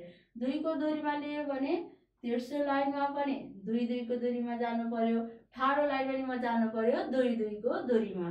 तेर्सो लाइनमा पनि दुईको दुरीमा ठाडो लाइनको दुई दुरीकोमा होइन म एकै लिन्छु भने अब हामीले के गर्नु पर्यो त? तेर्सो लाइनमा पनि एकको दुरीमा ठाडो लाइनकोमा भने दुईको दुरीमा अब तिमीहरूलाई यो ठुलो देखाउनुको लागि दुई दुईको लाइनको लिइरहेको छु। दुई भयो मेरो। अब दुई भर्नु पऱ्यो मलाई यसरी। ठुलोको लिइरहेको छु मैले एक दुई। यानि कि यहाँ पुगेँ ठुलोको लिएँ मैले। एक दुई गरेर। ठुलो लिएँ भने म तिन कहाँ जानु पऱ्यो अब? माथि। अब मैले ठुलो दुई लिएको छु भने म यस्तै गरी के गर्छु? दुई दुईको दुरीमा जान्छु यसरी। एक दुई तिन। यानि कि यो पोइन्ट यो पोइन्टलाई चाहिँ हामी के भन्ने गर्छौँ? दुई तिन यसरी। यो पोइन्ट चाहिँ के हो त? दुई तिन। तेर्सो हिँडेमा दुई ठाडो हिँडेमा तिन। त्यही भएर यो जोडी के भयो? दुई तिन। यो बिन्दुलाई चाहिँ हामी के भन्नु गर्नेछौँ त? क्रम जोडा। दुई तिनको क्रम जोडा। त्यसै गरी हामी अन्य बिन्दुहरू पनि भर्न सक्छौँ। अब मैले मान लिएँ पाँच छ। अब मैले लिएँ पाँच छ। यसमा अघि मैले दुई दुईको दुरी लिएको थिएँ। अब यसै गरी यसलाई पनि कतिको लिन्छु त? दुई दुईकोमा। पाँच जानु पऱ्यो म। एक दुई तिन चार पाँच। अब म छमा जानु पऱ्यो एक दुई तिन चार पाँच छ। ओ यो बिन्दु चाहिँ के रहेछ हाम्रो? पाँच छ। यसरी बिन्दुहरू भर्न सक्छौँ। यो उदाहरणको लागि लियो हामीले ग्राफमा। मैले भरेँ पाँच छ। त्यसै गरी अरू बिन्दु भर्न सक्छु। मानव मैले भरेँ तिन दुई। अब मलाई लिनु पर्यो तिन दुई। त्यसै गरी तिन भनेको के बुझ्छौँ अरे हामी? तेर्सो लाइन। र दुई भनेको के बुझ्छौँ हामी? ठाडो लाइन। अब म के गर्नु पर्यो? तिन स्टेप अगाडि जानु पर्यो र दुई स्टेपमा माथि जानु पर्यो। यानि कि तिनचोटि अगाडि बढ्नु पर्यो। एक दुई। तिन भन्दै र दुई भनेको माथि जानु पर्यो। ठाडो भनेको माथिको लाइन। कति बढ्नु पऱ्यो त म? दुई। एक दुई। अब मैले यो भरिरहेको छु। तिन र दुई। एक दुई। तिन यहाँ हेरौँ है त। एक दुई। तिन। अब माथि कति जानु पऱ्यो? दुई। एक दुई। हो यो चाहिँ के रहेछ त हाम्रो? तिन र दुई। अब यहाँ हेरौँ। एक दुई। तिन। माथि गएमा एक दुई। यो हो हाम्रो तिन दुई। यसरी हामी यसको क्रम जोडाहरू ग्राफमा भर्न सक्छौँ। र भरिएको क्रम जोडाहरूबाट पनि के निकाल्न सक्छौँ त यस्तै क्रम जोडा। भरिएको चित्रहरूबाट के झिक्न सक्छौँ हामी? क्रम जोडा। बिन्दुहरूबाट के झिक्यो त हामीले? क्रम जोडा। विद्यार्थी भाइ बहिनीहरू हामीले क्रम जोडाको बारेमा अघि उदाहरणहरू लेखेर क्रम जोडा भनेको के रहेछ त्यसको बारेमा हेरेर ग्राफमा भर्यो। र अब हामीले एउटा ग्राफ लिएर आएको छु मैले जुन ग्राफमा तिमीहरूले देख्न सक्छौ। विभिन्न किसिमको आकृतिहरू छन्। रेखा त्रिभुज र हाम्रो चतुर्भुज छ। र चतुर्भुजको दुई साइडहरू बराबर देखिरहेको छ यसलाई हामी आयत पनि भन्ने गर्छौँ। र यसमा यो दिएको रेखाहरू त्रिभुजहरू चतुर्भुजहरू जति पनि छन् नि यसका यसका प्रत्येक बिन्दुहरूको क्रम जोडा निकाल भनेर हामीलाई प्रश्न गरियो। दिएको चित्रको यानि कि आकृतिको। दिएको ग्राफमा दिएको आकृतिको बिन्दुहरूको क्रम जोडा निकाल भनेर प्रश्न गरियो भने हामी कसरी निकाल्छौँ त्यसको बारेमा हेरौँ। अब हामीलाई प्रश्न गरियो। ग्राफमा दिएको मानौ प्रश्नमा। ग्राफमा दिएको आकृति हेरी। ग्राफमा दिएको आकृति हेरी। प्रत्येक बिन्दुहरूको प्रत्येक बिन्दुहरूको बिन्दुहरूको क्रम जोडा। प्रत्येक बिन्दुहरूको क्रम जोडा लेख। हामीलाई यस्तो प्रश्न गर्यो ग्राफमा दिएको आकृति हेरी प्रत्येक बिन्दुहरूको क्रम जोडा लेख। प्रत्येक बिन्दुहरूको क्रम जोडा लेख भनेर हामीलाई यसरी प्रश्न गर्यो। गरेको प्रश्नमा अब हामीहरू देख्न सक्छौँ हामीले आकृतिहरू एउटा छ रेखा। रेखामा जसको बिन्दुहरू छ ए र बी। दुईवटा बिन्दु छ टुङ्गिएको पोइन्टहरू एउटा छ ए अर्को छ बी। अब हामीलाई रेखा भन्ने आकृति लियो भने हामीले क्रम जोडा लेख्नु पर्यो। ए र बीको बिन्दु ए को क्रम जोडा त्यसपछि हामी लेख्ने गर्छौँ बिन्दु बीको क्रम जोडा त्यसै गरी हामी अर्को अर्को आकृति हेर्न सक्छौँ। आकृति अर्को चाहिँ के छ त? त्रिभुज। त्रिभुजमा कतिवटा बिन्दुहरू छन्? तिनवटा। अब हामीलाई चाहियो त्रिभुजको लियो भने त्रिभुजमा बिन्दु सीको क्रम जोडा त्यसै गरी बिन्दु डीको र अन्तिममा रहेको छ बिन्दु ईको क्रम जोडा हामीले लेख्नु पऱ्यो के त? रेखाको बिन्दु छ ए र बी त्यसको क्रम जोडा त्यसै गरी। त्रिभुजको छ आकृति त्रिभुजको बिन्दुहरू सी डी र ई त्यसको लेख्नु पर्यो क्रम जोडा र अन्तिममा रहेको छ एउटा आकृति चतुर्भुज। हाम्रो चारवटा भुजाहरूले बन्द भएको हुनाले यसलाई हामी चतुर्भुजै भनेर लियो। अहिले हामी चतुर्भुजमा हेर्न सक्छौँ। एफ जी एच र आई चारवटा बिन्दुहरू हामी लेखिरहे देखिरहेको छौँ। अब हामी त्यो बिन्दुहरूको प्रत्येक बिन्दुहरूको क्रम जोडा लेख्न गइरहेको छौँ। हामी हेरौँ उत्तरमा। सुरुको आकृति हामी के देख्न सक्छौँ त? रेखा। हामीले दुईवटा बिन्दु जोडेको यो लाइनलाई रेखा भनेर सुरुको आकृति लियो। रेखा। अब हामीले लियो रेखा। आकृति रेखा। रेखामा रहेको छ बिन्दुहरू। के छ? ए र बी। रेखामा ए र बी बिन्दु रहेको छ। यसरी लेखेर गरौँ। हामीलाई सजिलो हुन्छ। बिन्दुहरू। रेखामा ए र बी बिन्दुहरू रहेको छ। रहेको छ। अब हामीलाई निकाल्नु पर्यो ए र बी बिन्दुको क्रम जोडा। क्रम जोडा यानि कि अर्डर बियर पनि भन्छौँ हामी यसलाई। क्रम जोडा ए एको गरौँ हामीले अघि नै पनि भनिसक्यो क्रम जोडा लेख्ने भनेको दुईवटा नम्बरहरूको जोडी लेख्नु पर्यो। दुईवटा नम्बरहरूको जोडी हामी कसरी लेख्छौँ त? सर्वप्रथम सुरुमा तेर्सो लाइन त्यसपछि ठाडो लाइन। हामी कहाँ जानु पर्यो त? बहिनीहरू अगाडि जानु पर्यो तेर्सो लाइन त्यसपछि माथि चढ्नु पर्यो हामी। ठाडो लाइन र दुईवटा लाइनहरूलाई को नम्बरहरूलाई मिलाएर राख्यो भने हामीले भन्ने गर्यो क्रम जोडा। अब हामी लेखौँ ए बिन्दुको। बिन्दु ए को क्रम जोडा लियो। बिन्दु ए को क्रम जोडा। अब मैले ए बिन्दुलाई इन्डिकेट गरेँ। यहाँनिर अलिकति ठु ठुलो थुप्रो लगाउँछु। बिन्दु ए। अब एमा मैले हेर्नु पर्यो तेर्सो लाइन। तेर्सो लाइनको क्रम जोडा र ठाडो लाइनको नम्बर मिलाएर लेख्नु। अब म तेर्सो लाइन लगाएँ यो बिन्दु एले तेर्सो लाइन कति छोएको छ हेरौँ ल हामी। जिरोबाट सुरु गर्नु पर्यो। हामीले भनिहाल्यो जहिले पनि उत्कम बिन्दु जिरोबाट सुरु हुन्छ अगाडि जानु पर्यो यहाँ माथि जानु पर्यो। अब मैले बिन्दु एको हेर्नु पर्यो भने सजिलोको लागि मैले यसलाई लगाइदिएँ त्यसरी तेर्सो लाइन। कतिमा पुगेँ म? एकमा। बिन्दु यो तेर्सो लाइन कति भयो त? एक। यो बिन्दु एको लागि सुरुको लागि लेख्यौँ हामी। एक। तेर्सो लाइन लेख्नु पर्यो जहिले नै हामी बिन्दु एको छ लाइनको एक। त्यसै गरी अब हामी ठाडो लाइन हेरौँ। यो ठाडो लाइन छ देखिरहेको छ। हामीले ठाडो लाइनमा बिन्दु एले कति छोएको छ त यहाँ? सजिलैसँग देख्न सक्छु। ल काउन्ट गरौँ। एक दुई तिन। एको रहेछ? तिन। यानि कि तेर्सो लाइनमा एक र ठाडो लाइनमा तिन। यसलाई बिचमा कमा चिन्ह राखेर सानो कोठले बन्द गरिदियो भने हाम्रो के भयो त? क्रम जोडा। याद गरौँ तेर्सो लाइन त्यसपछि ठाडो लाइन। सुरुमा तेर्सो लाइन अनि त्यसपछि ठाडो लाइन। सुरुमा तेर्सो लाइन त्यसपछि ठाडो लाइन र दुईवटा नम्बरहरूको बिचमा कमा चिन्ह र सानो कोषले बन्द गरिदियो भने त्यो जोडीलाई हामी भन्ने गर्छौँ क्रम जोडा।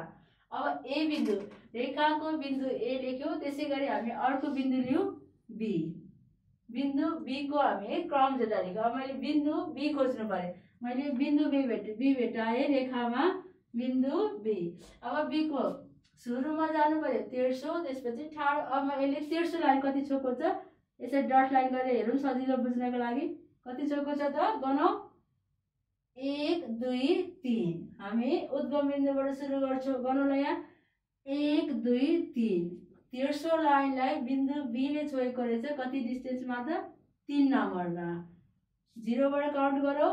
एक दुई तिन। यसरी तेर्सो लाइनलाई टच गरौँ छौँ हामी र गनौँ। उद्गम बिन्दुबाट एक दुई तिन। छोएको रहेछ तिनमा। त्यसै गरी अब हामी कसमा जान्छौँ त? ठाडो लाइनमा। सुरुमा तेर्सो लाइन त्यसपछि ठाडो लाइन। अब हामी ठाडो लाइनमा टच गरौँ। ठाडो भनेको यो लाइन देखिरहेको छ। हामीले बिरे ठाडोमा कति छोएको छ? सजिलो लागि बुझ्नको लागि यसरी लाइन तोरौँ ल लाइन कोर्यौँ हामीले। अब हेरौँ। बिन्दु बीले ठाडो लाइनमा कति गरेको रहेछ? काउन्ट गरौँ जिरोबाट सुरु गरौँ। एक दुई तिन चार पाँच छ सात। बिन्दु बीले ठाडो लाइनमा कतिमा छोएको छ? सातमा।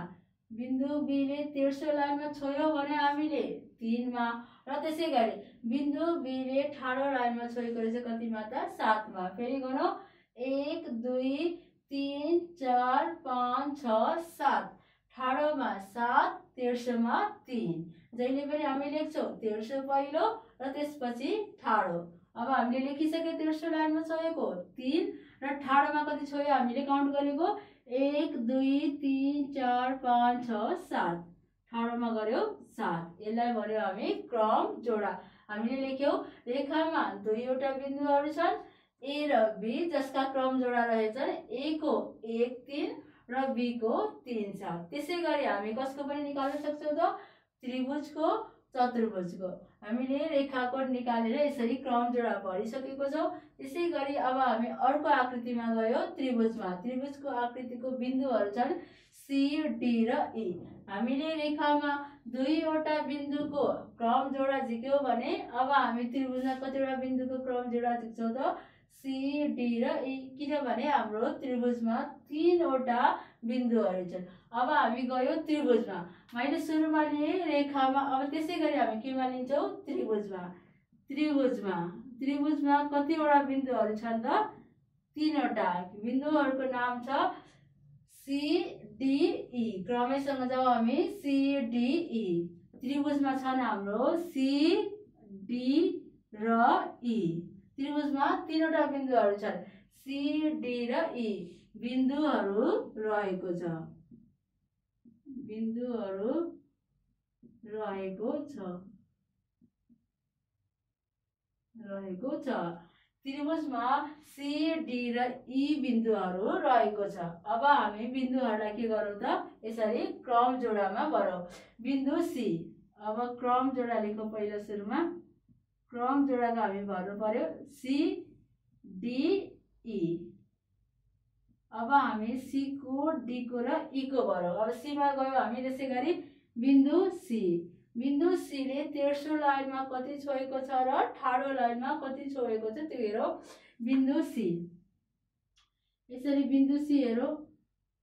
तेर्सो लाइन भयो। अब हामी उद्गम बिन्दुबाट गर्न थाल्यो। सजिलो लाग्यो। हामीले यसरी लाइन लगायो। उद्गम बिन्दुबाट सुरु गरेँ मैले। एक दुई तिन चार पाँच छ सात आठ नौ। बिन्दु सीले तेर्सो लाइनमा छोएको रहेछ अङ्क नौमा।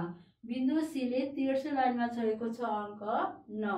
त्यसै गरी बिन्दु सीले अब हामी जान्छौँ ठाडो लाइनमा। बिन्दु सीले ठाडो लाइनमा यसरी कतिमा छोएको रहेछ त? अब गर्नु पर्यो हामीले सुरुमा कहाँबाट? जिरो उद्गम बिन्दुबाट। अब काउन्ट गर्न सुरु गरौँ हामी। एक दुई तिन चार पाँच छ सात आठ नौ दस। बिन्दु सीले ठाडो लाइनमा छोएको रहेछ अङ्क दसमा। बिन्दु सीले तेर्सो लाइनमा छोयो नौमा। र त्यसै गरी बिन्दु सीले ठाडो लाइनमा छोयो अङ्क दसमा। यसलाई कमा चिन्ह राखेर सानो कोषले बन्द गऱ्यो भने के तयार भयो त हाम्रो क्रम जोडा। नम्बरहरूको जोडी जुन कि पालै पालो तेर्सो अनि ठाडो। अब अर्को जाउँ बिन्दु डीको अब डीको यसै गरी खोजौँ। अब हामी सजिलै खोज्न सक्छौँ ल बिन्दु डीलाई यसरी लाइन लगाइदिउँ र काउन्ट गरिदिउँ अब यसरी। यो हो हाम्रो बिन्दु डीको एक दुई तिन चार पाँच छ। बिन्दु डीको छ? छ। र बिन्दु डीलाई ठाडो लाइनमा हेरौँ यो पोइन्ट पाइसकेको छ ल काउन्ट गरौँ अब। एक दुई तिन चार पाँच छ सात आठ नौ दस एघार बाह्र तेह्र चौध पन्ध्र सोह्र। बिन्दु सी डीले कहाँ छोएको छ त ठाडो लाइनमा अङ्क सोह्रमा। तेर्सो लाइनमा छोएको रहेछ छमा र ठाडोमा छोएको छ सोह्रमा। भाइ बहिनीहरू बिन्दु डीले छोएको छ हाम्रो अङ्क छमा त्यसै गरी ठाडो लाइनमा छोएको छ अङ्क सोह्रमा। विद्यार्थी भाइ बहिनीहरू हामीले सी र डीको बिन्दु भर्यो। त्यसै गरी ईको क्रम जोडा खोजौँ अब हामी बिन्दु ईमा कति एक्स यानि कि तेर्सो लाइनमा कति छोएको रहेछ बिन्दु ईले हेरौँ। एक दुई तिन। बिन्दु एले छोएको छ तेर्सो लाइनमा एक दुई तिन। अब हामीले तेर्सो लाइनको अङ्क तिन। त्यसै गरी बिन्दु ईले ठाडो लाइनमा कति छोएको छ त्यो खोजौँ। बिन्दु ईले ठाडो लाइन। यानि कि यसमा छोइरहेको छ। अब काउन्ट गरौँ हामी जिरोबाट एक दुई तिन चार पाँच छ सात आठ नौ दस एघार। यीले छोएको रहेछ। ठाडो लाइनमा कति त अङ्क एघारमा। फेरि गरौँ एकचोटि। एक दुई तिन चार पाँच छ सात आठ नौ दस एघार। बिन्दु ईले ठाडो लाइनमा कति छोएको रहेछ त? एघार। यसरी। यसलाई हुने भयो क्रम जोडा। त्रिभुजमा तिनवटा बिन्दुहरू छन् सी डी र ई बिन्दुहरू जसका क्रम जोडाहरू यस प्रकार छन्। बिन्दु सीको नौ दस यानि कि तेर्सो लाइनमा छोएको छ अङ्क नौमा र ठाडो लाइनमा छोएको छ अङ्क दसमा। अर्को छ बिन्दु डी बिन्दु डीले डीको क्रम जोडा छ छ सोह्र। तेर्सो लाइनमा छोएको छ अङ्क छमा। त्यसै गरी ठाडो लाइनमा छोएको छ अङ्क सोह्रमा। अब अर्को अन्तिम बिन्दु रहेको छ बिन्दु ई ईले छोएको छ तेर्सो लाइनमा तिन ठाडो लाइनमा एघार। यसरी हामीले त्रिभुजको सी डी र ईको क्रम जोडाहरू भेट्यौँ। त्यसै गरी रेखाको पनि के त? ए र बीको क्रम जोडाहरू भेट्यो। अब हाम्रो अन्तिममा रहेको छ एउटा आकृति चतुर्भुज। चतुर्भुजमा कतिवटा बिन्दुहरू छन् त? चारवटा हामीले देख्न सकिरहेको छौँ। एफ जिएचआई हाम्रो चार बिन्दुहरू चाहिँ चतुर्भुजमा रहेका छन्। रेखामा दुईटा बिन्दुको क्रम जोडा झिक्यौँ त्रिभुजमा तिनवटा बिन्दुको झिक्यौँ। अब हामीले चतुर्भुजमा कतिवटा बिन्दुको झिक्छौँ त? चारवटा बिन्दुहरूको चतुर्भुजमा क्रम जोडा झिक्यौँ। अब हामी गयो तेर्स तेर्सो आकृति चतुर्भुज। चतुर्भुजमा कतिवटा बिन्दुहरू छन् त भाइ बहिनीहरू एफजिएचआई त्यस कारण हामी चारवटा बिन्दुहरूको क्रम जोडा देख्छौँ। चतुर्भुजमा एफ जी एच र आई चारवटा बिन्दुहरू छन् चतुर्भुजमा। एफ एच र आई बिन्दुहरू रहेको छ। बिन्दुहरू रहेको छ। रहेको छ। अब हामी चतुर्भुजमा क्रम जोडा के झिक्यो त? चारवटा बिन्दुहरूको क्रम जोडा झिक्यो याद अब चतुर्भुजको याद गरौँ। एफ जी राई प्रत्येक बिन्दुहरूको क्रम जोडा झिक्नुपर्ने हुन्छ यसमा। चतुर्भुजमा अब चारवटा बिन्दुहरूको क्रम जोडा झिक्यौँ हामी। क्रम जोडा झिक्नतिर गइरहेको छ। बिन्दु एफको झिक्नु पऱ्यो पहिले त्यसपछि जीको एचको अनि आईको। पालै पालो चारवटा बिन्दुहरूको क्रम जोडा झिको अब सुरुमा बिन्दुमा गएँ म एफ बिन्दुमा। ग्राफमा हामी देख्न सक्छौँ कि एफ बिन्दु छ। एफ बिन्दु कहाँनिर छ त? चतुर्भुजको एउटा बिन्दु। चतुर्भुजको एउटा बिन्दु। अब चतुर्भुजको एउटा बिन्दुमा जाउँ यफ बिन्दु सजिलो छ। नजिकै बसिरहेको छ तेर्सो लाइनको नजिकै। ल काउन्ट गरौँ। यफ तेर्सोमा कतिमा गयो यसरी? एक दुई तिन चार पाँच छ। यफ कतिमा गयो त छमा। तेर्सो लाइनको यफ कतिमा गयो? छमा। फेरि गरौँ। एक दुई तिन चार पाँच छ। एफले तेर्सो लाइनमा कतिमा छोइरहेको छ? छमा। यफले तेर्सो लाइनमा छोयो? छमा। अब हामी तेर्सो लाइनपछि कुन लाइनको लागि जान्छौँ त? ठाडो लाइनमा। फेरि याद गरौँ। तेर्सो लाइन त्यसपछि ठाडो लाइन। पहिले तेर्सो लाइन त्यस पछाडि आउने लाइन भनेको हाम्रो कुन रहन्छ त? ठाडो लाइन। मैले यहाँ लेखिसकेँ तेर्सो लाइनको अङ्क। अब म जान्छु ठाडो लाइनको अङ्क। एफले यो ठाडो लाइनलाई कतिमा छोएको छ त्यो हेरौँ। एफमा यसरी हो। कतिमा छोएको छ त? एफले सिधा हेरौँ यसरी हामी काट्नेर पनि हेर्न सक्छौँ पेन्सिलले लगाएर। एफमा छोएको रहेछ उसले एफले ठाडो लाइनमा छोएको रहेछ अङ्क एकमा। जिरोबाट काउन्ट गरौँ एक। एफले ठाडो लाइनमा छोएको छ एकमा छ र एक। यफ बिन्दुको क्रम जोडा रहेछ छ एक। यानि कि तेर्सो लाइन छ ठाडो लाइन एक। त्यसै गरी अब हाम्रो अर्को बिन्दुमा जाऊ बिन्दु जीमा। अब हाम्रो बिन्दु जी रहेको छ। जीको खोज्नु पर्यो हामी तेर्सो लाइन त्यसपछि ठाडो लाइन। अब बिन्दु जीको तेर्सो लाइन खोज्छौँ हामी। तेस्रो लाइन भनेको यसले कतिमा छोएको रहेछ त्यसलाई काउन्ट गरौँ काउन्ट गर्दा जहिले याद गरेर भाइ बहिनीहरू कहाँबाट जान्छौँ हामी? जेरोबाट जेरोबाट जीले कुन अङ्कमा छोइरहेको छ त्यो हेरौँ। अङ्क काउन्ट गर्न थालो। एक दुई तिन। सुरु गर फेरि। एक दुई तिन चार पाँच छ सात आठ नौ दस एघार बाह्र तेह्र। यानि कि जीले छोएको रहेछ। तेर्सो लाइनमा कतिमा? तेह्रमा एक दुई तिन चार पाँच छ सात आठ नौ दस एघार बाह्र तेह्र। जीले छोएको छ तेर्सो लाइनमा अङ्क तेह्रमा अब तेर्सो पछि हाम्रो पालो गयो ठाडो लाइन। ठाडोमा हेरौँ जीले यसै गरी जी र एफले एउटै अङ्कमा छोएको छ। लाइनहरू सिधा छ। ल हेरौँ अब। जीको लाइन सिधा छ। ठाडो लाइनमा जेरोबाट सुरु गर्दा कति अङ्कमा छोयो हाम्रो एक।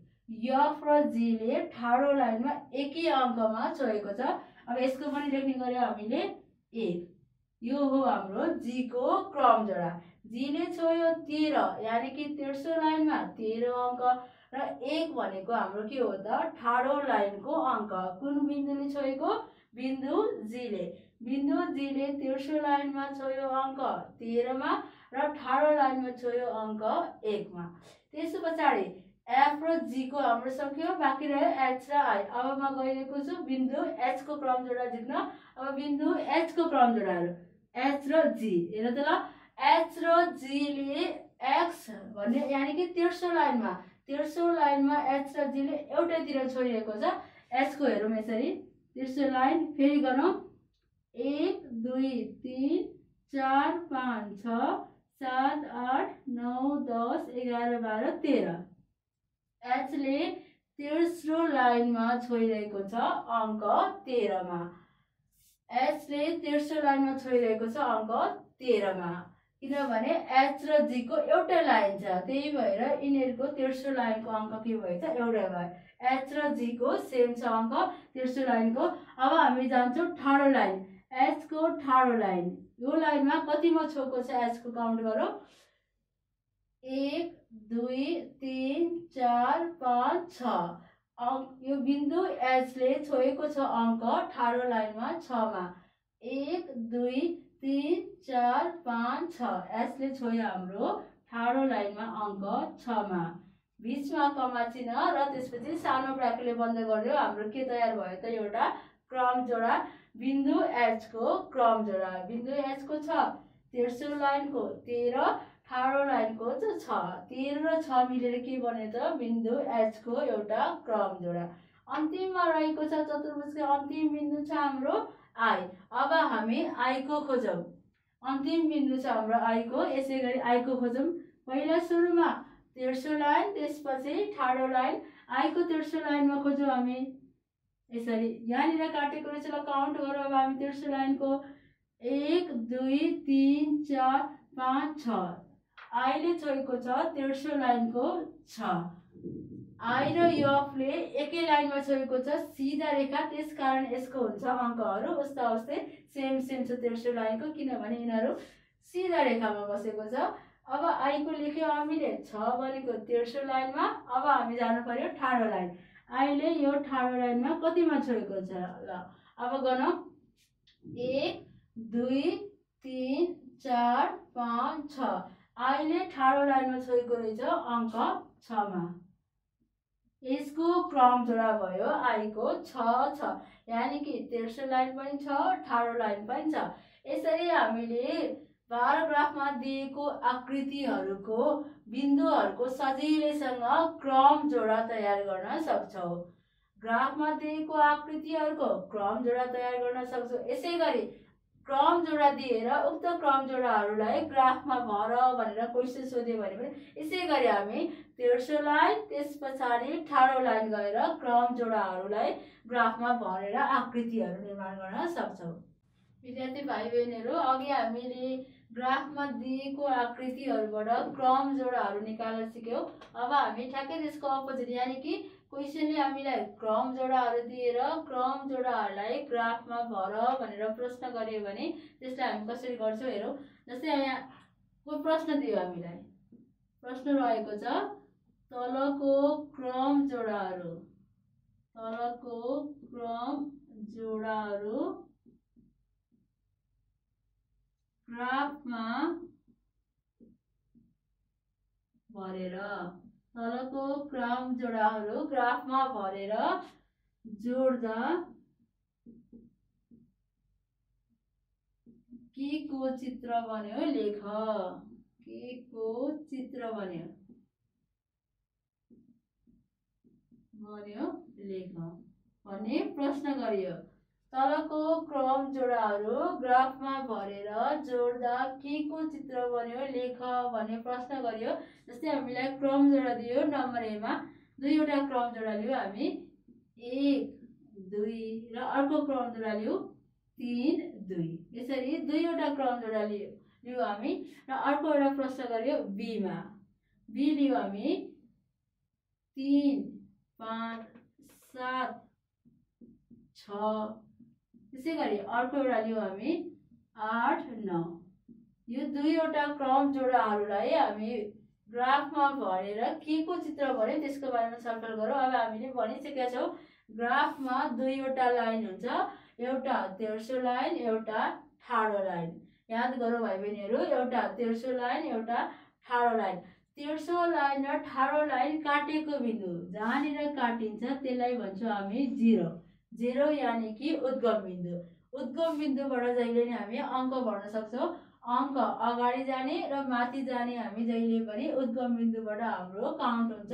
अब हामीले यो लाइनलाई हामीले भन्यौँ तेर्सो लाइन यसलाई लेखौँ हामी तेर्सो लाइन र यो भयो हाम्रो ठाडो लाइन। यो छ ठाडो लाइन। यो तेर्सो लाइन त्यसपछि रह्यो ठाडो लाइन। एउटा छ तेर्सो लाइन त्यसपछि रह्यो ठाडो लाइन।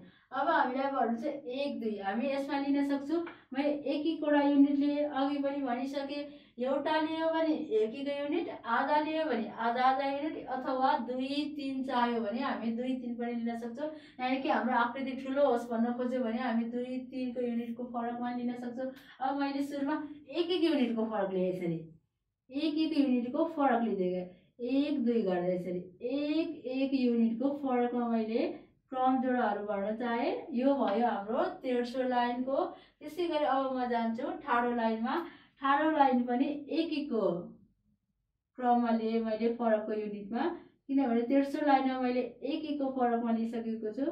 याद गर भाइ बहिनीहरू हामी एक एकको फरकमा लियो भने एक एकको फरकमा लिन्छ आधाको लियो भने आधाको दुईको लियो भने दुईको अथवा तिनको लियो भने तिनको। तेर्सो लाइनमा जतिको फरक लियो ठाडो लाइनमा पनि हामी त्यति गरेर फरक लिन्छौँ। याद गर भाइ बहिनीहरू तेर्सो लाइनमा हामी जतिको फरक लियो ठाडो लाइनमा पनि त्यति नै फरक लिने गर्छौँ। अब मैले भर्न थालेँ एको उत्तरमा? उत्तर एक हो अब मैले उत्तर एमा भर्न थालेँ। बिन्दु दिएको छ मलाई एक दुई। यो क्रम जोडा दिएको छ। यसलाई मैले सजिलोको लागि बिन्दुको नाम दिएँ ए। एक दुई भन्ने क्रम जोडालाई मैले बिन्दुको नाम दिएँ ए। त्यसै गरी अर्को क्रम जोडा छ हाम्रो तिन दुई। यसलाई सजिलोको लागि नाम दिएँ मैले बी। एक दुईलाई मैले ए नाम दिएँ। तिन दुईलाई बी नाम दियो। त्यसै गरी तिमीहरू एक दुईलाई सी नाम देऊ तिन दुईलाई डी नाम देऊ फरक पर्दैन जे नाम दिँदा पनि हुन्छ। मैले यहाँनिर दिएँ एक दुईलाई नाम ए र तिन दुईलाई नाम बी। यानि कि बिन्दु ए र बिन्दु बी। अब भर्न गइरहेको छु। एक दुई। एक भन्नाले अगाडि अगाडि भन्ने बित्तिकै तेर्सो लाइन। हामी कहाँ जानु पऱ्यो त? तेर्सोमा। त्यसै गरी दुई भन्ने बित्तिकै पछाडि। पछाडि भनेर के बुझ्छौँ हामी? ठाडो लाइन। एक भनेको तेर्सो लाइन र दुई भनेको ठाडो लाइन। यसरी। हामी बुझ्नको लागि यहाँ नोटिस लेख्यौँ। हामीले एकलाई तेर्सो लाइनमा जानु पर्यो र दुईलाई ठाडो लाइनमा जानु पर्यो अब हामी जान्छौँ एक भनेको अगाडि। तेर्सो लाइनमा कहाँबाट सुरु गर्छौँ त हामी जेरोबाट यानि कि उद्गम बिन्दुबाट। अब मैले उद्गम बिन्दुबाट सुरु गरेँ। कति जानु पर्यो म? एक। एक तेर्सो लाइन जान्छु र दुई भनेको ठाडो लाइन। यानि कि म माथि हिँड्छु। अब मैले सुरु गरेँ एक। यसबाट सुरु गरेँ एक। यानि कि म यहाँ गएर टुङ्गेँ। मलाई चाहिन्छ जोडीमा एउटा मात्र नम्बर भरेर टुङ्गेर भएन। मलाई चाहिन्छ कतिवटा त दुईवटा नम्बर। यानि कि जोडा गर्दैछौँ हामी। क्रम जोडा एक जानु पर्यो तेर्सो लाइनमा दुई जानु पर्यो ठाडो लाइनमा। अब एक गएँ म तेर्सो लाइनमा। उद्गम बिन्दुबाट सुरु गरेँ म गएँ एक तेर्सो लाइनमा। अब अर्को लाइन कति जानु पर्यो ठाडोमा? दुई। अब दुई कदम माथि गएँ। एक दुई यानि कि यो बिन्दु यो बिन्दु हेर भाइ बहिनीहरू तेर्सो लाइनको एकमा बसेको छ र ठाडो लाइनको एक दुईमा बसेको छ। तेर्सो लाइनको एकमा ठाडो लाइनको दुईमा। यो बिन्दुको नाम हो ए। मैले अघि नै नाम दिइसकेको छु बिन्दु ए। त्यही भएर यो बिन्दुको नाम लेखेँ मैले बिन्दु ए। त्यसै गरी अर्को क्रम जोडा रहेको छ तिन दुई। तिन भन्नाले तेर्सो लाइन दुई भन्नाले ठाडो लाइन। अब हामी तेर्सो लाइनमा तिन जान्छौँ र ठाडो लाइनमा दुई जान्छौँ। अब तिन जाउँ हामी तेर्सो लाइनमा। एक दुई तिन। ठाडो कति जानु पऱ्यो हामी। ठाडो कति हाम्रो दुई। त्यस कारणले फेरि काउन्ट गरौँ। एक दुई तिन। म तेर्सो लाइनमा तिन हिँडेँ अब म ठाडो लाइनमा दुई हिँड्छु। एक दुई। हो यो लाइन हो हाम्रो बिन्दु बीको यो पोइन्ट चाहिँ के भयो त? बिन्दु बीको ए र बी दुईवटा बिन्दु भयो हाम्रो ए को बिन्दुको क्रम जोडा छ एक दुई। त्यसै गरी बी बिन्दुको क्रम जोडा छ तिन दुई। ए को एक दुई। फेरि हेरौँ ए को एक एक दुई। यो भनेको बिन्दु ए को क्रम जोडा भयो त्यसै गरी बिन्दु बी को तिन दुई। अब काउन्ट गरौँ हामी। एक दुई तिन एक दुई। हो यो हो बिन्दु बी हामीलाई प्रश्नले के सोधेको छ त? क्रम जोडा ग्राफमा भरेर हामीले ग्राफमा भरिसक्यौँ र जोड्दा यानि कि दुईवटा बिन्दु भए दुईवटा बिन्दुलाई जोड्नु पर्यो तिनवटा भए तिनवटा चारवटा भए चारवटा। अब हामी जोड्छौँ दुईवटा बिन्दु ए र बी। ए र बी बिन्दुलाई जोडेर के को चित्र बन्यो त्यो पनि लेख्नु छ हामीलाई। अब मैले ए र बीलाई जोडेँ। A B. के को चित्र बन्यो यो? बिन्दु ए र बी। बिन्दु ए र बी जोडेर बन्ने यो लाइन के हो त हाम्रो रेखा किनभने दुईवटा बिन्दुहरू छन्। यसरी दुईवटा बिन्दुहरू जोडेर के को चित्र चित्र बन्यो त रेखाको। अब हामी लेख्न सक्छौँ क्रम जोडा। क्रम जोडा दिएको छ हामीलाई एक दुई र तिन दुई। जोड्दा रेखा बन्यो। रेखा बन्यो। यसरी। बिन्दु ए र बी जोड्दा के को चित्र बनेको रेखाको। क्रम जोडा दिएको छ एक दुई तिन दुई। यो दुईवटालाई जोड्दा के को चित्र बन्यो? हाम्रो रेखाको चित्र बन्यो। हामीले लेख्यौँ क्रम जोडा एक दुई र तिन दुई जोड्दा रेखा बन्यो। अब त्यसै गरी हामी के को लेख्न सक्छौँ? बीको अब म प्रश्न नम्बर बीको उत्तरतिर गएँ। हामीलाई क्रम जोडा दिएको छ तिनवटा। तिन पाँच सात छ आठ नौ। यसै गरी सजिलोको लागि हामीलाई एबी लेख्यो। अब हामी अर्को नाम दिन्छौँ सिडिई सिडिई अब मैले नाम दिएँ यसलाई। थ्री फाइभ यसलाई नाम दिएँ सी सजिलोको लागि नोटेसन दिएँ। थ्री फाइभको लागि बिन्दु सी त्यसै गरी अर्को छ। सेभेन सिक्स यसको लागि बिन्दु डी र लास्टमा बिन्दु छ हाम्रो एट नाइन लास्टको क्रम जोडालाई हामीले नाम दियो ई तिनवटा नाम दियो। सी डी र ई तिन पाँच भनेको बिन्दु। सी सात छ भनेको बिन्दु। डी आठ नौ भनेको बिन्दु ई अब हामी भर्न थाल्यौँ। सीको छ? तिन भन्नाले अगाडि यो हो। तेर्सो लाइन र फाइभ भन्नाले पछाडिको छ। यो हो। ठाडो लाइन। अब के बुझ्नु पऱ्यो त हामी भाइ बहिनीहरू तेर्सो लाइनमा तिन हिँडेर ठाडो कति चढ्नु पऱ्यो हामी उकालो पाँच चढ्नु पऱ्यो अब म गएँ। तेर्सो लाइनको तिन र ठाडो लाइनको पाँच। म जान्छु तिन कदम अगाडि गएर पाँच कदम माथि चढ्छु अब हामी जाउँ। तिन छ अगाडि। एक दुई तिन। अब हामी जानु पऱ्यो ठाडोमा कति त? पाँच। एक दुई तिन चार पाँच। हो यो बिन्दु हो सी यसको नाम दियो हामीले सी तिन पाँच। फेरि काउन्ट गरौँ। एक दुई तिन म माथि गयो पाँच। एक दुई तिन चार पाँच। यसको नाम दिएँ मैले सी तिन पाँच क्रम जोडालाई नाम दिएको छौँ सी त्यसैले तिन पाँच क्रम जोडाको बिन्दुलाई लेख्यौँ हामीले बिन्दु सी अब अर्को बिन्दुमा जाऊ। बिन्दु छ सात छ। सात भन्नाले तेर्सो लाइनमा सात अगाडि जानु पर्यो र छ भन्नाले ठाडोमा हामी छ चढ्नु पर्यो। अब सात छ यानि कि सेभेन सिक्स गर्नु पर्यो। One two three four five six seven यहाँ आइपुगेँ म अब अर्को छ मेरो सिक्स सिक्स कहाँ चढ्नु पऱ्यो त माथि. अब म सेभेन यहाँ आइपुगेको थिएँ फेरि काउन्ट गरौँ. One two three four five six seven अब म सिक्स माथि चढ्छु. One two three four five six यसको नाम हो डी सी भर्यो हामीले डी भर्यो सीको क्रम जोडा छ? तिन पाँच डीको क्रम जोडा छ सात छ। अब हाम्रो अन्तिममा एउटा बिन्दु रहेको छ आठ नौ। आठ भन्नाले अगाडिको तेर्सो लाइन नौ भन्नाले पछाडिको ठाडो लाइन। अब हामी आठ नौ सुरु गरौँ उद्गम बिन्दुबाट। आठ अगाडि जानु पर्यो तेर्सो लाइनमा र नौ भनेको ठाडोमा जानु पर्यो एक दुई तिन चार पाँच छ सात आठ। हामी तेर्सो लाइनमा आयो आठ र ठाडो लाइनमा जानु पर्यो नौ। फेरि काउन्ट गरौँ। एक दुई तिन चार पाँच छ सात आठ अब नौ हामी माथि चढ्छौँ। एक दुई तिन चार पाँच छ सात आठ नौ। हो यो बिन्दुको नाम रहेछ बिन्दु ई ईको क्रम जोडा कति छ त हाम्रो आठ नौ। तिनवटा क्रम जोडाहरूको बिन्दुहरू भर्यो हामीले तिन पाँचको बिन्दु छ। सी त्यसै गरी अर्को क्रम जोडा छ। सात छ। सात छको बिन्दु छ। डी र अन्तिम एउटा क्रम जोडा रहेको छ। आठ नौ। आठ नौको बिन्दु छ। ई। अब प्रश्नले भनेअनुसार यसलाई जोड्दाखेरि के को चित्र भन्छौँ? त्यो हेरौँ। पाले पालो जोडौँ हामी। सी पछि डी डी पछि ई र सुरुको बिन्दु र अन्तिम बिन्दु जोडौँ हामी। सी डीलाई अब सी पछि डी जोडौँ हामी। C D.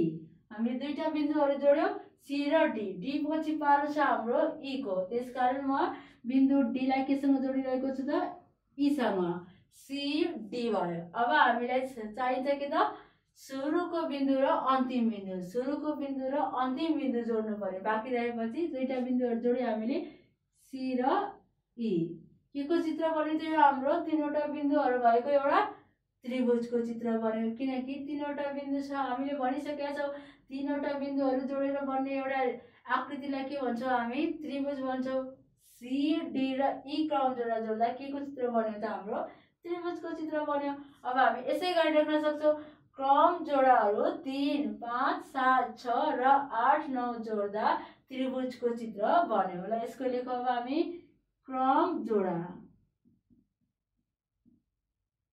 क्रम जोडा तिन पाँच सात छ र अन्तिम क्रम जोडा छ हाम्रो आठ नौ। जोड्दा हामीले भन्यो के को चित्र बन्यो त?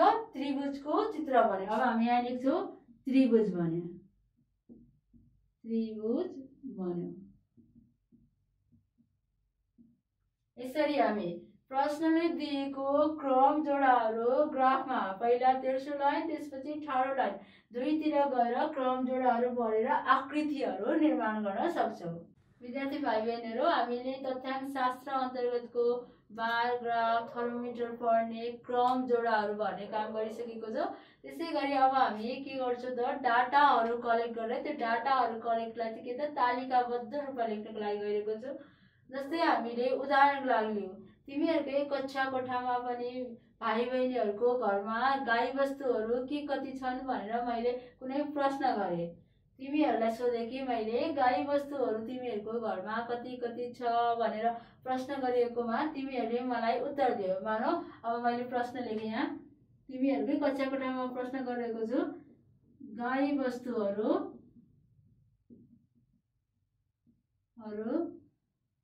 कति छन्? कति छन् भन भनेर मैले एउटा प्रश्न गरेँ तिमीहरूलाई। गाई बस्तुहरू कति छन् भन्ने प्रश्न मलाई आयो। रामले भन्यो पाँचवटा छ सीताले भन्यो छवटा छ। त्यसै गरी अर्कोलाई सोधेँ मैले तिमीहरूको बिचको गीतालाई सोधेँ। गीताले भन्यो मेरो घरमा पाँचवटा छ। फेरि गीताले पनि भन्यो उसको घरमा कतिवटा छ? पाँचवटा छ। त्यस्तै गरी मैले अर्कोलाई सोधेँ। हरिलाई ल हरि तिमी भन त कतिवटा गाईबस्तुहरू छ भन्ने प्रश्नमा मलाई हरिले उत्तर दियो। मेरो घरमा चारवटा छ। हरिको घरमा रहेछ चारवटा गाईबस्तुहरू। त्यसै गरी मैले अर्को विद्यार्थीलाई सोधेँ। मानव राम सीता गीता हरि। अब मैले एकजना अर्कोलाई सोधेँ श्याम। श्यामले भन्यो मेरो घरमा दसवटा छ। ओहो श्यामको घरमा त सबैभन्दा धेरै गाईबस्तु रहेछ। रामकोमा पाँचवटा सीताकोमा छवटा गीताकोमा पाँचवटा हरिकोमा चारवटा श्यामकोमा छ दसवटा। यसरी मैले पाँचजना विद्यार्थीहरूलाई सोधेर निम्न तथ्याङ्कहरू सङ्कलन गरेँ। गाई वस्तुहरू तिमीहरूको घरमा गाई वस्तुहरू कति कति छन् भन्ने प्रश्न सोद्धाखेरि मलाई यसरी उत्तर आयो। रामले भन्यो मेरो घरमा त पाँचवटा गाई वस्तु छन्। त्यसै गरी सीताले भन्यो मेरो घरमा छवटा गाई वस्तुहरू छन्। र अर्को छ मैले गीतालाई प्रश्न गरेँ गीताले मलाई जवाफ दियो मेरो घरमा त पाँचवटा गाई वस्तुहरू छन्। अब अर्कोलाई सोधेँ मैले हरिलाई हरि तिम्रो घरमा कतिवटा गाई वस्तुहरू छन्? भन्ने प्रश्न सोद्धा हरिले मलाई जवाफ दियो मेरो घरमा चारवटा गाई वस्तुहरू छन्। त्यसै गरी मैले श्यामलाई सोधेँ श्याम तिम्रो घरमा कतिवटा गाई वस्तु छन्? भन्दा श्यामले मलाई उत्तर दियो मेरो घरमा दसवटा गाई वस्तुहरू छन्। अब यो निम्न तथ्याङ्कहरूलाई यति धेरै भाषाहरू लेखिरहेको छौँ। अब हामीले यसलाई गणितीय भाषामा लेख्दाखेरि चाहिँ कसरी लेख्छ त? गणितीय भाषाहरूमा तिमीहरूले गरेको सङ्कलन छ नि यो तथ्याङ्क सङ्कलन। यो तथ्याङ्कलाई म डाटामा यानि कि तालिकामा देखाउँछु। तालिकामा हामी कसरी देख्छौँ र अब यहाँ पहिला सुरुमा मानिसको नाम त्यसपछि हामी लेख्छौँ गाईबस्तुको सङ्ख्या। नाम र सङ्ख्या। यसरी हामी सजिलैसँग डाटा बुझ्न सक्छौँ। यो हो हामीले तालिका प्रस्तुत गरे। अब लेखौँ हामी नाम। विद्यार्थीको नाम भनेको तिमीहरूको बिचको विद्यार्थीहरूको नाम लेखेँ मैले यहाँ। विद्यार्थीको नाम। यो भयो सङ्ख्या यानि कि गाई वस्तुको सङ्ख्या। गाई वस्तुको सङ्ख्या। मैले सोध्दै गएको यहाँ लेख्छु। अब रामलाई सोधेँ मैले रामले उत्तर दियो पाँचवटा विद्यार्थी छ राम। रामको घरमा कतिवटा गाईबस्तु रहेछ त? पाँचवटा। मैले लेखेँ सङ्ख्यामा पाँच। यसले के बुझायो मलाई? रामको घरमा पाँचवटा गाईबस्तु छ। त्यसै गरी मैले अर्कोलाई देखाएँ सीता। अब सीताको घरमा। सीताको घरमा रहेछ छवटा। सीताको घरमा छवटा गाईबस्तु छ। अब अर्को रह्यो हाम्रो अर्को छ विद्यार्थी गीता। गीताको घरकोमा लेख्नु पर्यो तालिकामा। मैले सुरुमा लेखेँ नाम। यो हो विद्यार्थीको नाम। राम सीता गीता यस्तै गरी लेख्दै जान्छौँ। हामी राम र सीताको लेख्यौँ। अब हाम्रो पालो छ। गीता। गीताको घरमा कतिवटा गाईबस्तु रहेछ त? पाँचवटा। अब गीतापछि पालो आयो हाम्रो हरि। हरिको घरमा छ कतिवटा त? चारवटा। हरिको घरमा रहेछ चारवटा गाईबस्तु अब अन्तिममा एउटा रहेको छ हाम्रो विद्यार्थी छ श्याम। अन्तिम विद्यार्थी छ हाम्रो श्याम। श्यामको घरमा कतिवटा गाईबस्तु छन् त? दसवटा। श्यामको घरमा दसवटा गाईबस्तु छ। यसरी हामीले विद्यार्थीहरूलाई कुनै मानिसहरूलाई विभिन्न सर्वेक्षणहरू गरेर डाटाहरू तथ्याङ्कहरू सङ्कलन गर्न सक्छौँ र तथ्याङ्कहरू सङ्कलन गरेको सजिलै बुझ्नको लागि हामीले तालिकामा प्रस्तुत गरेर लेख्न सक्छौँ। तालिकामा मैले यसरी एउटा उदाहरण दिएँ। विद्यार्थीको नाम कति कतिवटा गाईबस्तुहरू छन् भनेर सोधेको प्रश्नमा मलाई यसरी जवाफ आयो र त्यो जवाफहरूलाई मैले तालिकामा देखाएँ जुन कि बुझ्नको लागि सजिलो होस् र लेख्नको लागि पनि धेरै छोटो होस् भनेर। विद्यार्थीको नाम लेखेँ अब हामी बुझ्न सक्छौँ। रामको घरमा पाँचवटा गाईबस्तु रहेछ। सीताको घरमा छवटा गाईबस्तु छ गीताको पाँचवटा गाईबस्तु हरिको चारवटा गाईबस्तु श्यामको दसवटा गाईबस्तु यसै गरी तिमीहरूले पनि थुप्रो तथ्याङ्कहरू सोधेर एक आपस साथी साथी बिचमा छलफल गरेर तथ्याङ्कहरू निर्माण गरेर त्यसलाई सजिलोसँग हामी केमा देखाउन सक्छौँ त? तालिकामा देखाउन सक्छौँ। यसरी हामीले तथ्याङ्क शास्त्र अन्तर्गत के के गर्यो त? तालिकाहरू बनाएर निर्माण गर्यो निर्माण गरेको तालिकालाई केमा देखाउन सक्यो? बायोग्राफमा देखाउन सक्यो बायोग्राफ बनाएको बायोग्राफबाट विभिन्न प्रश्नहरूको उत्तरहरू निकाल्न सक्यो र अन्तिममा हामीले के गर्यो? क्रम जोडा। क्रम जोडाहरूलाई ग्राफमा भर्न सक्यो र ग्राफमा भरिएका आकृतिहरूको बिन्दुबाट नि के झिक्न सक्यो त? क्रम जोडा।